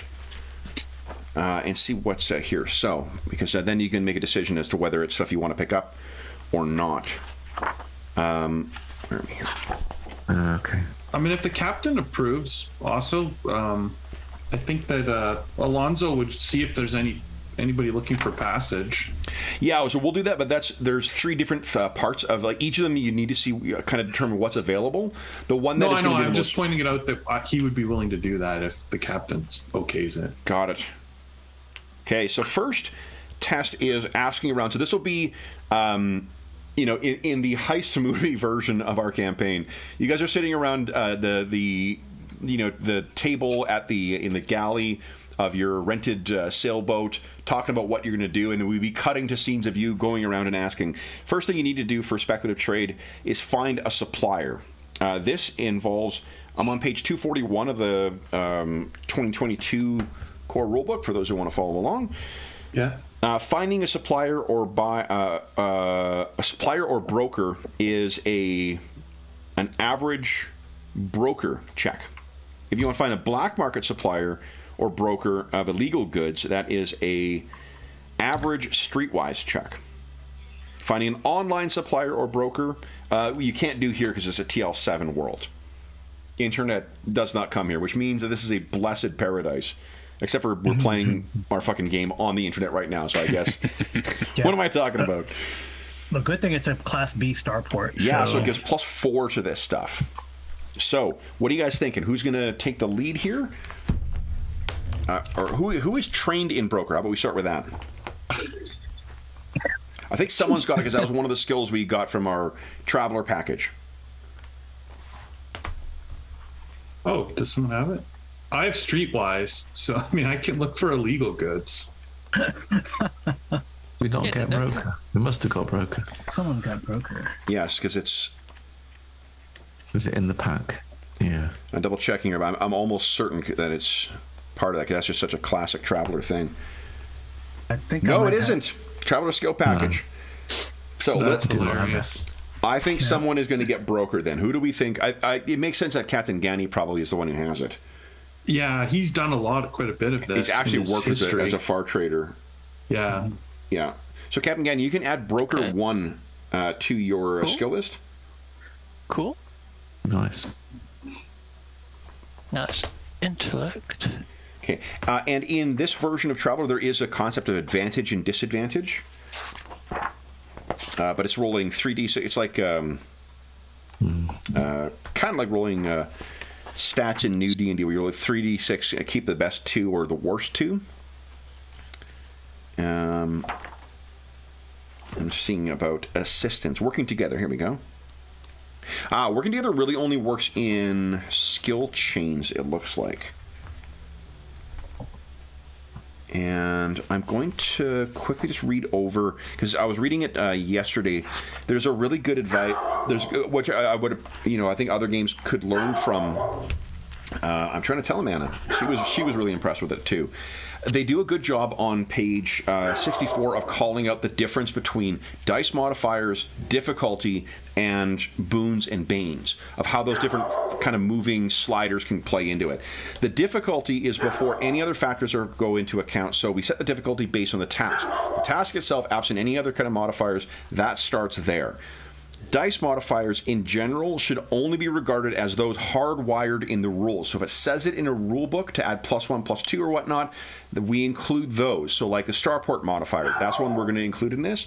Boons and banes is where the situational modifiers come in. There's a circumstantial or situational modifier. You get an extra dice, or, and then take the better of the two, or a extra dice take the worst of the th- of the th- uh, not two, the, th- three.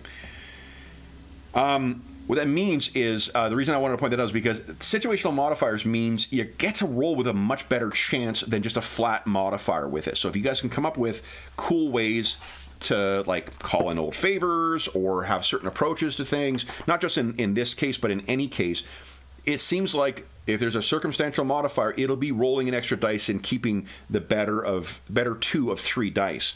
So the game is tilted in favor of uh, if you come up with an in fiction reason to get a bonus, you get to roll that extra dice. That's cool. Hmm, I like that quite a bit. Uh, and then, and then, and then, yeah, and I don't see. Yeah, so and this is where you, the boons come in as far as working together. If a traveler has help, such as good tools, competent aids, or other beneficial circumstances, they receive a boon. So this is where, even though um, only one person is rolling, if in this sort of circumstance, ye guys think that you know there may be some way to help, I'll, I'll probably let you roll uh, for that. Difficulty on most things, unless we um, make any kind of change, is an eight. An eight is always a success, unless we say otherwise. So, Alonzo, for instance, you mentioned that there was a, a streetwise. Uh, you- you're not trained in in um, broker, but you are trained in streetwise. If you wanted to ask around, you know, uh, GDCO definitely does keep this thing. So I might give you a penalty based on. I might um, adjust the. I might give you a, a bane on it. I won't adjust the difficulty. Uh, I'll just give you a bane on the roll. Uh, but if you succeed, that might give uh, uh, Captain Gani a, a boon on his roll. Just as an example, if anyone else has any ideas yeah. what they might want to try, they could do that as well.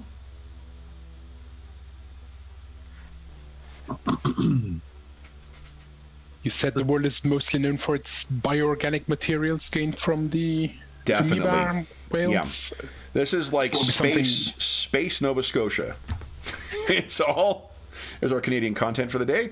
Uh, the uh, it's all just uh, Judico is is you know these uh, amoeba whales that were introduced to the region. They uh, are extracted in massive haulers and whatnot and sent off. It is it actually has the world itself has the uh, trade designation of being rich. Because if it's something that might have come up in, in like the research or as part of a lab being stocked, Dr. Abdel will happily so give his advice on Yeah, yeah good quality that. versus bad quality, or what what is in higher demand in terms So of that would be- which of which of the goods that might be available. Yeah, so let's we'll, we'll put we'll put that one aside because that, that's going to definitely come in once you identify a broker. Um, No. So, but that's that's a good that's a good way of, of making use of that. Anchor or Dane, do you have anything you want to that we'd see you guys doing, or No, I think probably well, what I might be doing is is just checking out Argona's sale DM sort of sale profile, its um, trade classifications, because whatever um, t- um, cargo we get, um, it's as much about how, how we can sell, how easily we can sell it, as a, how easily we can buy it. Definitely. So I think we need to just triangulate those two things. It's typically what we should do, and I'll, I'll probably do a bit of research with Doc Sure. with, uh, on that. so the trade classification I believe are Ice World and I can't see what the other one is. In I. See, the trade classification Non-industrial. non-industrial. Non-industrial. Okay. Okay, great. Let's just keep that in mind when we look at what the uh, what the speculative cargo types actually are. Uh, okay. Assuming we can afford them, of course, because we haven't got a lot of money. So, uh, Captain Gani, you've sort of been volunteered for this uh, activity, but uh, Alonso, do you wish to try and assist here? Um, you know, unl- I, I feel like character wise, he would try to, you know, assist because he is kind of looking for adventure and, you know, asking around about something that you're not supposed to Yep. is, you know, he's not too scared of that. So, one here's uh, the one thing uh, to to weigh into this because of this the. Um, uh, we're not factoring in the law level here for you asking around for sketchy uh, types. Um, effect uh, is something where, that's going to come up and play into a lot of different aspects of the game. Effect just means the difference between what you rolled and what you needed to roll. So if you roll a quite bad effect, like let's say you roll a two when you needed an eight, a minus six effect is this is where we may have that that um, that danger that you wanted. Yeah. Jedico for all your corporate space marine needs. Right. Okay, I see. So the farther away you are from success, the more chance there is of something bad. Correct. Or good. Or good. Like when we do extended tests, effect plays in because it's what contributes towards the eventual goal. Okay. Okay. So then, what you are going to do uh, is, um, oh, nice, yeah. Uh, that that uh, uh, I I think the like the trade doesn't need to be the only thing in um, in Traveller, but I think it's a lot of fun, I, and I I've, feel that I'm in a better position now as a game master to make that part of the game more fun than just you know uh, than we did the first time that Jeff and I and Steve played it when we were just it became it was fun but i mean like it was adjusting pretend numbers around without really a, a connection to the story and i'd like to try it uh, differently this time mm-hmm. so jeff would you give us a um, you're going to roll with and i think you have to set the boon and bane at the top of the character sheet beforehand you're rolling with a bane a streetwise check At the Top of the sheet. isn't this the one where like it triggers you can set Oh boon- yeah, there it is. Okay, I see it. Yeah, Okay. Bane. first roll of the campaign Here we go. And Bane. with a bane, yeah. Five. so it's a, a failure of minus three. This is just fortunately an average failure. Minus six is where exceptional failure comes in and things can go bad. Six or more is where exceptional success comes in. So I think you um, tell us how uh, Alonso is going around to sort of the because you're in the starport by by this point, so it's a much you know fancier kind of thing. Um, you're going around trying to like you know use your reporter skills as a CD, you know, with a of your contacts. What, what is uh, the trouble he's running into here?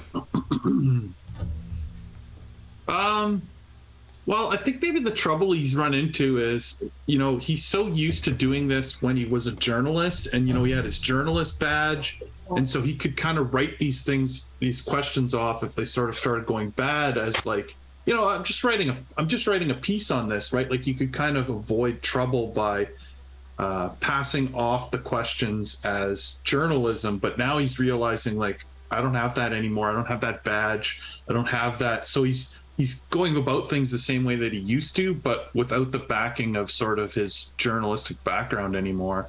So he hasn't really got his feet under him for how to do this as a private citizen.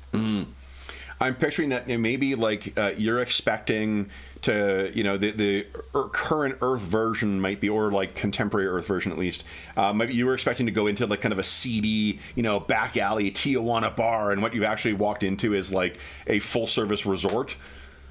Yeah, And exactly. you're like, so what do we do and stuff? And they're like, yeah. uh, all right. But then, Captain, it is all on you. You're not going to get a boon from the efforts of our intrepid uh, Mr. Santoro.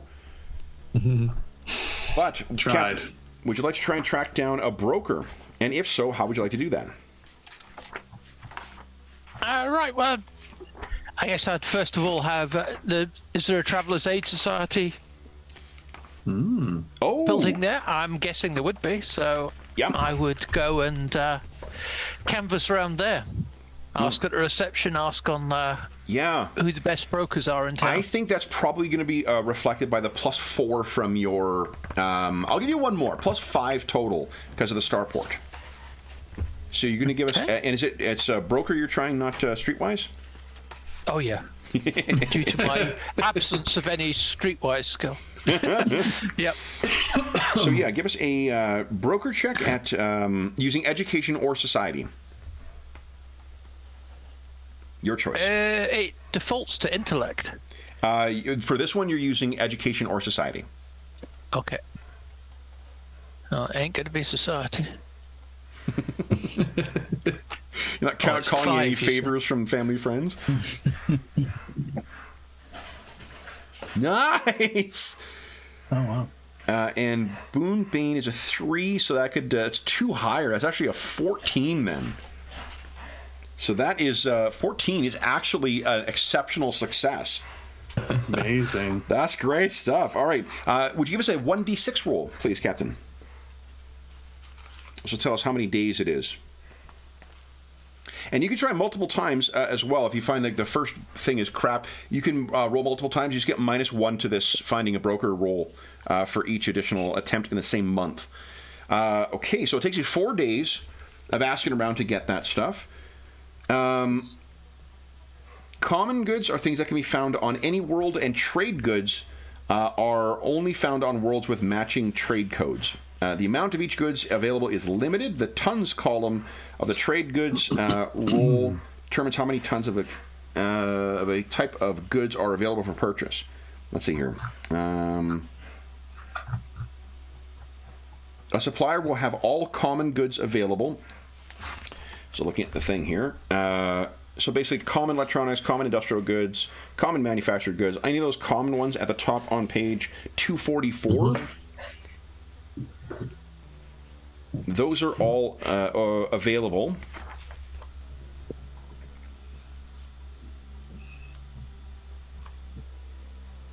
Oh, and th- this is cool. So it's the common goods available, trade goods that match the trade codes, as well as a quantity of randomly determined goods equal to the population code of the world. Okay. Biochem we can have. Yeah. Ooh, but we probably can't afford. uh, so let's see here. The um, the other things that are on here, uh, advanced electronics. This uh, rich and water world are the two things that are on here. So, advanced electronics are here available. Advanced manufactured goods are available. Advanced vehicles, crystals and gems, cybernetics. Oh, I'm sorry. Hold on. I'm on the sale DM. Forgive me. Um, yeah, biochemicals on the because of the water world. Uh, let's see here. Uh, illegal drugs. Uncommon raw materials. Yeah, so uh, under the availability column, there's quite a few things. Uh, would you, let's see here, what's the population? Let's see here. Um,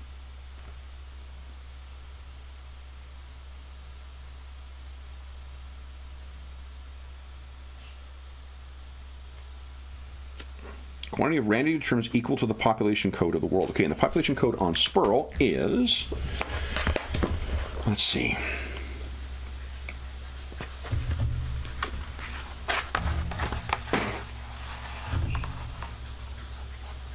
uh, is eight. So why don't you each give us a D66 roll twice? And then I'll just ignore the last two. Right, everyone other, how about this? So Everyone other than the captain, give us twice. That'll give us the, the number we need. A D66? D66 twice, please. Yeah. All right. Good. And you guys, I'll, I'll read them out as well, but you can also see these on uh, page 244, 245 for what the results are. Um, but what we also have available are uncommon ores. Uh, let's see, uncommon ores, common industrial goods. Oh, that didn't, hold on, that didn't work properly. So I'll add. Yeah, because it's not. Uh, it's it's uh, it's a D sixty six is what you're rolling, so it's only between Oh, one. two, 2d6 and you get yeah, the- yeah. So Yeah, yeah. yeah, so I get. I don't know how we do that, but let's just see which ones I need to re-roll here. Thirty-eight. So thirty-eight won't work. Forty-nine won't work. Yeah. okay. How about I just roll it for you guys? How about that? We get some use out of these things. So you could do like roll two, roll a two d six, and then they get a Yeah. like that, Yeah, yeah. a four and a hand. Oh shit! I almost spilled all the dice. Heck of a way to It's like that. break in that thing. Oh yeah, that'll work. Yeah, that's perfect. That's perfect. Okay, so then uh, robots. Oh, robots! Wow. Heck yeah. robots, crystals, and gems. I can't believe I got advanced weapons.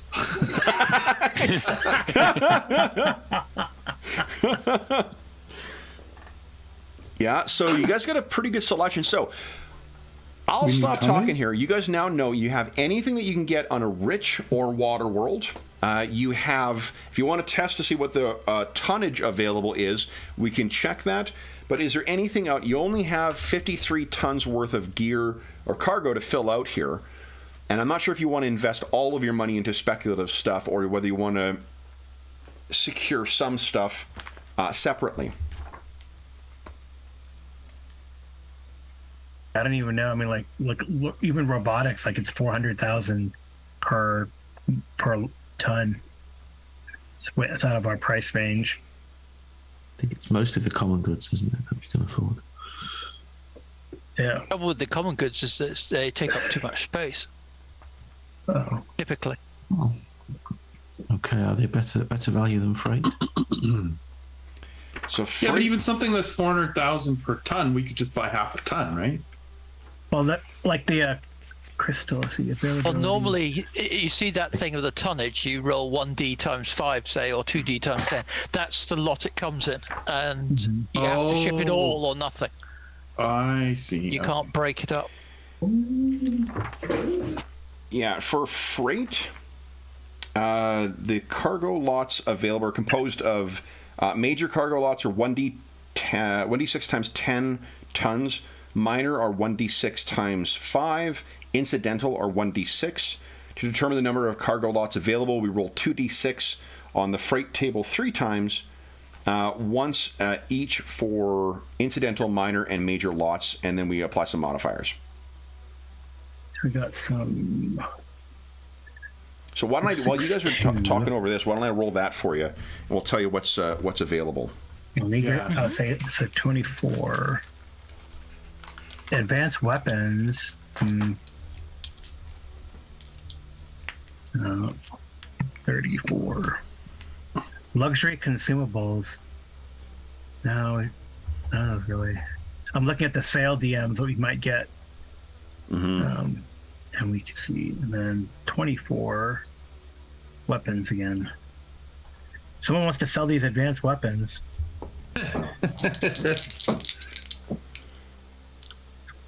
Yeah, I don't know if we're.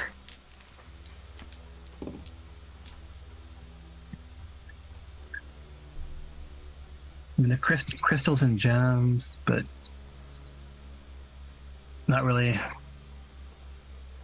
Yeah, I don't know if the the speculative cargo for, where- for where we're headed does not seem very lucrative.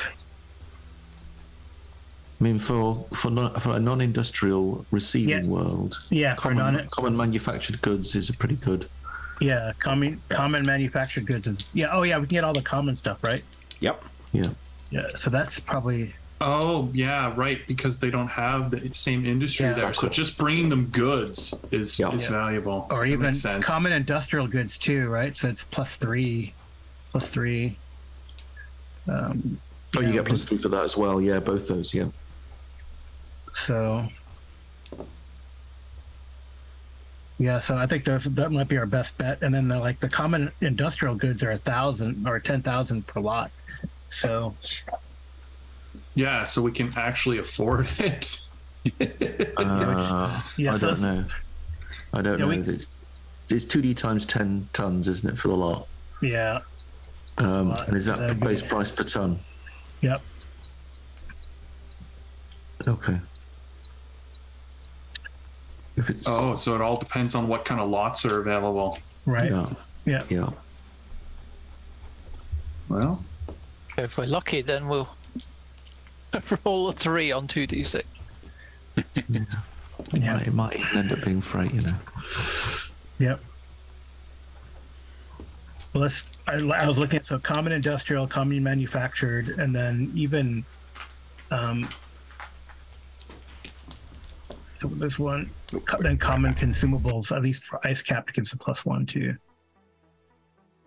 And then, yeah, those seem to be in our maybe in our price range. Maybe.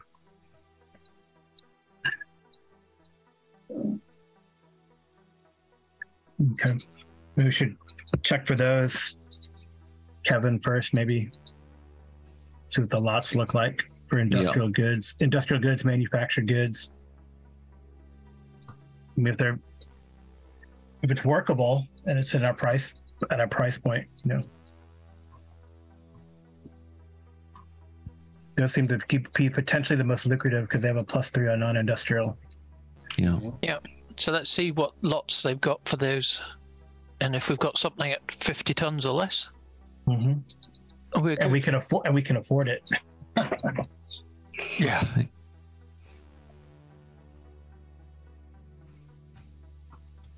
What do we get for freight?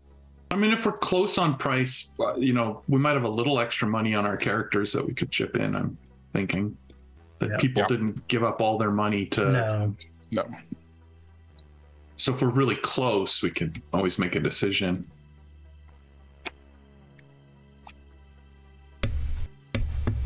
Okay.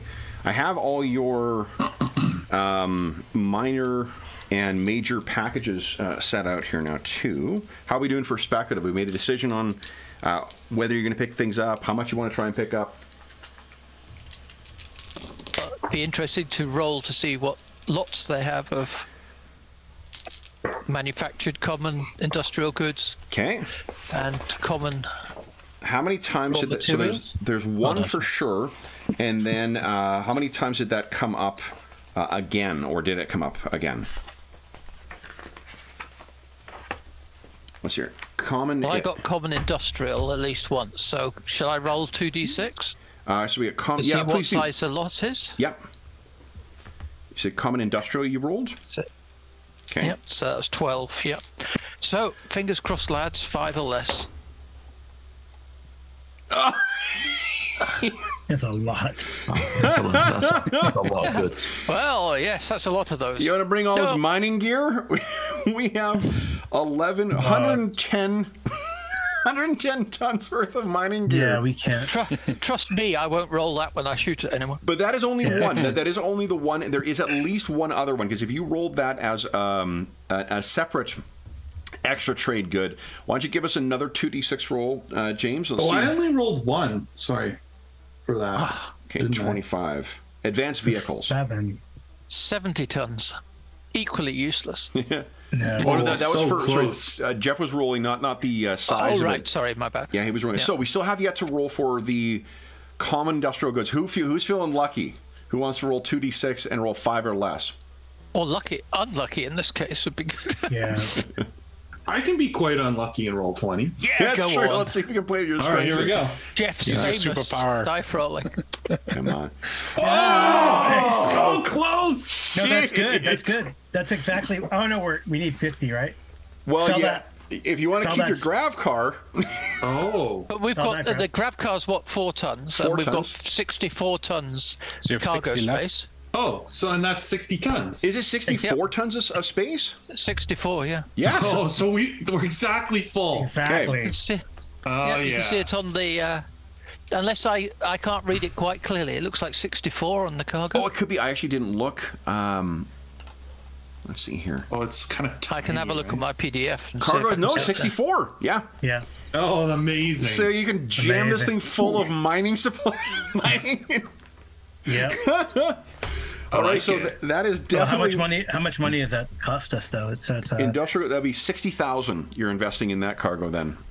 oh yeah, that's nice. Sixty thousand. That's a that's a good. That's about a quarter. We can maybe get more. Well, uh, that's that's the base price. We now need to see if we can get a better price on that, Oh yeah, yeah. So let's see here. Base price. or, or worse, of course. well, is Yeah. it is the base price per ton? yep. Yeah. Yeah. That case, it would Oh, that, that might be six hundred thousand. 600,000. Yeah. Yeah, we Yeah. can't afford that. I honestly think freight for freight we can we can pull in 80 k on freight uh, or, or, or mail if we, if we take any mail.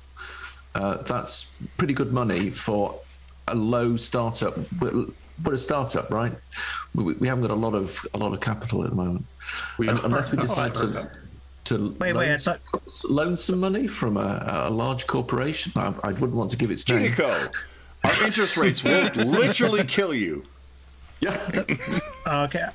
So I thought. Wait, we um. So the base price is. I guess I'm missing. So it's sixty thousand, or you said Here, six purchase hundred price? thousand? I, I said sixty, Yeah. but I, I lost a zero because I think the the purchase price. Yeah, if it's 60 tons and it's 10,000 per ton, it's There you go. 600,000. Oh, 10,000 per ton. Shoot. yeah. Yeah, so we so we have a third of that. So unless And there's no way back, we can negotiate that heavy of a discount. It's Uh, not possible. If you guys, let's see here, if you guys manage to roll 25 or higher on the modified roll, that would be 15% of the overall purchase price, which is 90,000. So, No, it's not possible. I just wasn't sure what, how far the discounts well, went. I mean, let's see here. Uh, what what dice modifiers are there on the purchase side here? Uh, so this was a common industrial world, non-agricultural industrial. Yeah, so there's no modifiers, unfortunately, from here for purchase. Uh, Are we so, industrial or non-industrial? Uh, it doesn't have either of those things. I think it's, Oh, okay, it's only yeah. when they, yeah, when they yeah, it's only it. it's rich water is what we're looking for. Yeah. Yeah, Okay. yeah. Water world, you get plus two for biochemicals. So Man, wood. Wood is on, on an agricultural world. You get plus six to purchase wood. wow, because we got so much of it, I guess. Yeah. Well, let's, Well, I let's guess just do the let's just do the freight then. freight. Yeah. Okay. So then, uh, freight cargoes are. I, I've already. I, there are so many um, uh, major and minor and incidental cargoes, and you only have 60 tons worth of space. You're going to be able to mix and match what you need for it. I've rolled 10d6 worth of uh, minor cargoes, each of which is 1d6 times 5. So we're going to assume that you're going to be able to mix and match, and I've got 11d6 worth of um, incidental cargoes. So you got plenty of stuff you can do. Uh, you can pick up now. The so it can't be broken up, so but that's not an issue. Let's check the rate here. Um, you are traveling two parsecs to Argona. Uh, If you're doing 60 tons, that's 16, uh, 1600 times uh, 60, whatever that is. 96? 96,000 credits? Is that right? And just doing it. Sorry, sixteen hundred. Uh, 60 times 1600. Ninety-six thousand. Yeah. 96,000, yeah. Did I say 9600? Yeah, again. Those missing zeros are critical. Yeah. That's the reason I'm a lawyer, not an accountant. Um, let's see here. How much space does uh, mail take up? Mail takes up five tons of space, and you'll pay 25,000 credits for transporting the container. Do you want to try and get mail? Well worth it if we can. Yeah. Okay. All right, so let's let's check for that first. Uh, mail is to determine if there's mail available. Roll two d six. and then apply the modifiers from the mail table. So freight. Oh, okay, the freight traffic dice modifier. Let's see here. Uh, okay, here we go. So the modifiers, it's from a, what's the population of uh, Argona? Uh, eesh. Okay, not high. Uh, but we apply from each is plus four from here because the population is big, minus four. So it's actually no modifier for the um, population. Starport is B from here is plus one, uh, and oh, for both source and destination, and I think it's a B at Argona as well. Yeah, B at Argona, so plus two. Um, no modifier for tech levels. Yeah, no modifier for tech levels, neither high nor low. So, guys, uh, it's a 2d6. Um, I think I get to add my naval rank, don't I? yes. Highest naval or scout rank. Yeah, highest naval or scout rank. What's your highest naval or scout rank? What's your highest social dice modifier? I think Dr. Uh, Abdel, you might be the highest social, aren't you? But is Alonso higher? Oh, wait, or is Alonso? Uh, my social is 10. Yeah, mine, mine is eight okay, so what? And dice modifier from 10 is what? plus one. Plus one. Okay, so you get plus one from that. And what's the highest naval rank amongst ev- uh, naval or scout rank amongst everyone? I got a rank four. All right. Okay, so that's I'm, I'm Marines, so I don't count. uh, that's funny that you don't count in it because you really, you know. Uh, that's two d six plus five. Then it looks like. Yep. Who wants to roll what that? do you want to roll? Uh, 2d6 plus uh, 8 or uh, 12 or more you're chosen to transport the mail Oh, wow. Wow. All right. So we have Well, that's the exact average, actually. It is. yeah So, yeah for us. who's feeling average? I mean, I, I guess I could roll since I have the highest Okay. naval rank here. Yeah, do it. Go for it. Yeah. Let's Do it, see. Hank. come on So we don't get anything. We don't get anything for Starport, right? It just uh, uh, that's already So factored into in. that bonus Yeah. yeah Okay. n- not for the mail The- it's factored into the uh, the mod another modifier we determined Yeah. there you got a mail go contract. nice okay so Got a mail then uh, you guys Nice. are uh, for your five tons of mail so that'll be when you Nice. reach argona it'll be 25000 credits Hmm. and then if you're filling up the rest with cargo uh, that will be um, 59 Well, actually, it says that there will be 1D containers available to transport, and we must take them all. Oh, so yeah, one d Fortunately, you have enough room for everything. So Yeah. give- uh, who whoever caught that, I think it was uh, Graham. Give us a one d six roll. yeah, Okay. All right. Let's let's try it. Come on. yeah. It could be. It's very lucrative. It could be, couldn't it? Uh, 1D. Three. Okay. Hey, Fifteen containers. tons. That's 15 Nice. tons. Okay, 15 so that tons. Forty nine tons of uh, regular cargo of freight. Actually, 15. No, 45. 45. 'cause 45 our, tons. Yeah, our air raft. Oh, our the air air raft, right? Yeah, yeah, Yeah. right. So forty five so tons nice. worth of. Uh, uh, freight, so whatever 45 times uh, 1600. 1600 is. And as we've learned, I cannot be trusted to do that math. so you guys will be Gotcha. short. 72,000. Pretty okay. Nice. All right. So, and uh, nice thing is you've invested none of your own money into this, guys. Yeah. Into the mail part. The mail part. That, right, Three that's just a times, delivery. three times 25,000. Or the That's- And we're all Freight. delivering freight, or the freight. We're just Freight doesn't cost you anything. It's only when you do speculative Oh. trade that. We're uh, just hauling. Yeah, yeah. Yeah, we're paid to, to just take it. yeah. We're paid to take to haul it. Yeah, Okay. which is good because then we, we develop like a, a bank, and then then we do speculative cargo, and then we make millions, Yeah. There you go. and then we get those guns. I was waiting for the train to reach that stop. All right. Then the last thing is, And- I, I guess you could, is you still could take on passengers as well. Oh, yeah. Yeah, Yeah. You want to take on some passengers? I think so. Yeah, let's maximize this. so let's see how many. Okay, so our uh, let's see. Could I, de- could I just ask, does anyone have steward? Nope. Oh, wasn't that one was in our thing? Wasn't was it? someone's got one in steward. Yeah. Can we just check? Because we ain't, we're only taking. Oh, level- I do. Yeah. Great. That type Excellent. yeah. That's fine. Carry on. He's gonna have, yeah. So Alonzo, Alonzo's gonna say we're gonna all have like a writing workshop while we Yeah. jump. Yeah. All right, so let's see here. So you got one from the Task one: read my first novel. from the cure. Available a lot in the gift shop. A lot of free editors. A lot of free editors there. verbose destination. No, I have one published novel. I did have one successful uh, book. Just plus four. Are is you it looking for high passengers or I don't know if to think of that. higher? So is it luxury passengers, middle passengers, standard class, or um, low passage, or basic passage? Ba- It's got to be basic because we don't have room to, for all their crap. Yeah. Oh yeah, you don't have a stateroom. That's right. Never mind. Never mind. This is uh okay. So and uh And we have low berth. yes. Uh, And we have a we have a so physician too. We're going to so roll that's good. separately for low passengers and for basic passage then.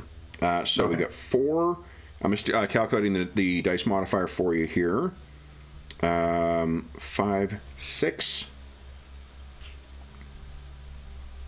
Uh, minus one, so that's five. All right, so um, it is going to be a broker, carouse, or streetwise check at a uh, with plus five for uh, basic passengers and plus six for low passengers. So, a broker, carouse, or streetwise. Who is feeling up to I that have task? carouse at two and streetwise at two. Is that with your modifier in as well? Yeah, that's my total. Yep. So I'm the same with broker, so it doesn't really matter. Where- Yeah. Well, why don't you do one and I'll do one? Okay. So, do you who wants to do for basic? I guess the the low passage will be unconscious the entire trip. So why don't we have Alonzo give us a um, one with plus five and uh, Captain Ganny with a plus six. Okay. Carouse, five, go. Oh, hold on. I'm doing this wrong. But I can fix it with this, with what we've rolled here. All right, so hold on. First off, uh, we take the effect here. So I'm going to back out that five. You rolled an eight uh, on yours. This is adds another modifier. Your dice roll adds a modifier to the roll for available passengers. So, Oh, okay. okay, so but that's good. I mean, an eight is is still good, and a six that's a ten. What's your Ganny? What your what's your uh, modifier for broker? Plus one. Plus two. Plus two, okay. Uh, so that is a 12, an effect of four. So for low passengers, uh, now it is, oh gosh, uh, Captain Ganny, give us a 2d4 plus 10. And uh, Alonzo, 2d, uh, sorry, 2d6 plus 10. Uh, Alonzo, 2d6 plus 5, please.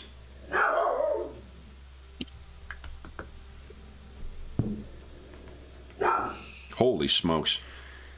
Uh, so Alonzo, yeah, we have five d6 worth of uh, basic passengers, and Wow.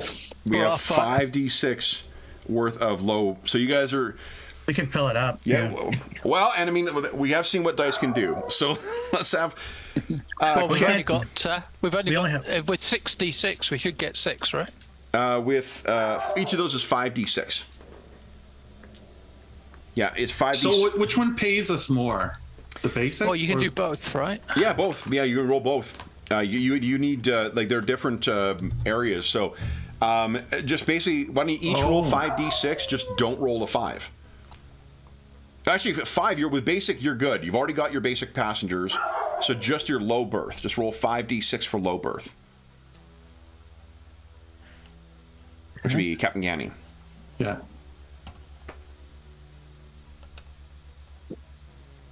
Okay, so there's a lot of people who are willing to travel effectively in like something worse than a pet carrier. Uh, so, what that means is, let's see here, two parsecs worth. Uh, so you got uh, two parsecs six traveling at 1300 uh, for the passage, and five at 3000 for the passage. So it is going to be a full ship going, guys. Yeah. All right. So with your cargo hold full, with a pro- this prospect of uh, four months of work ahead of you, uh, and a, uh, a trip off of this uh, planet, and ooh, a chance to visit a barren, lifeless ice moon that has industrial problems. so I'm sure there'll be no problems. And any reports of uh, ice worms, I guarantee you, are just nothing but GeDeCo slander against the local populate, the local corporation. Those reports are just fake news from GeDeCo. GeDeCo, you really shouldn't go to Argona. Um, so then, guys, that brings our first proper session to a close. We'll kick off next Yeah. uh, week with, or, ne- or two weeks from now, with you guys actually traveling off planet and uh, doing your astrogation and seeing if anything goes awry there.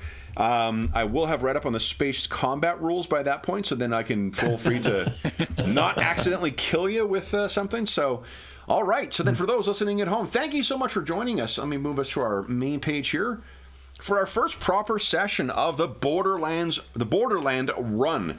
Uh, as is always the case, uh, if you have any comments, questions, or concerns regarding the session, the campaign, or the game we're playing, please don't hesitate to leave a comment in the comment section down below, and I'll endeavor to reply in a timely fashion. You can also find us on the Dungeon Musings Discord server. There's a uh, link to that attached down below. One thing I will say for those who might be joining us for the first time with Traveller, um, and because I had to remove some of these uh, from the last time, um, we're playing this for the first time in, in quite some time.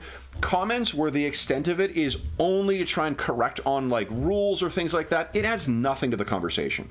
Uh, particularly when it comes after the fact. So we're not going to go back and change things. We're not going to be like, you know, especially for character creation, we're not going to be creating new characters right away. So I, I would ask you to either consider whether you're adding anything substantive to the conversation about the the uh, game or anything else, or if you're nitpicking rules. If it's the latter, we don't really care. We're not going to pay attention to it. I'm probably going to delete the comment. So just you know, if, if there's stuff you want to share about uh, Traveller in general, or you know anything about the session, we love hearing from that. Nitpicking on rules, particularly when it comes months after the fact, does nothing to help either us or anyone else who's playing or watching or trying to learn Traveller. So.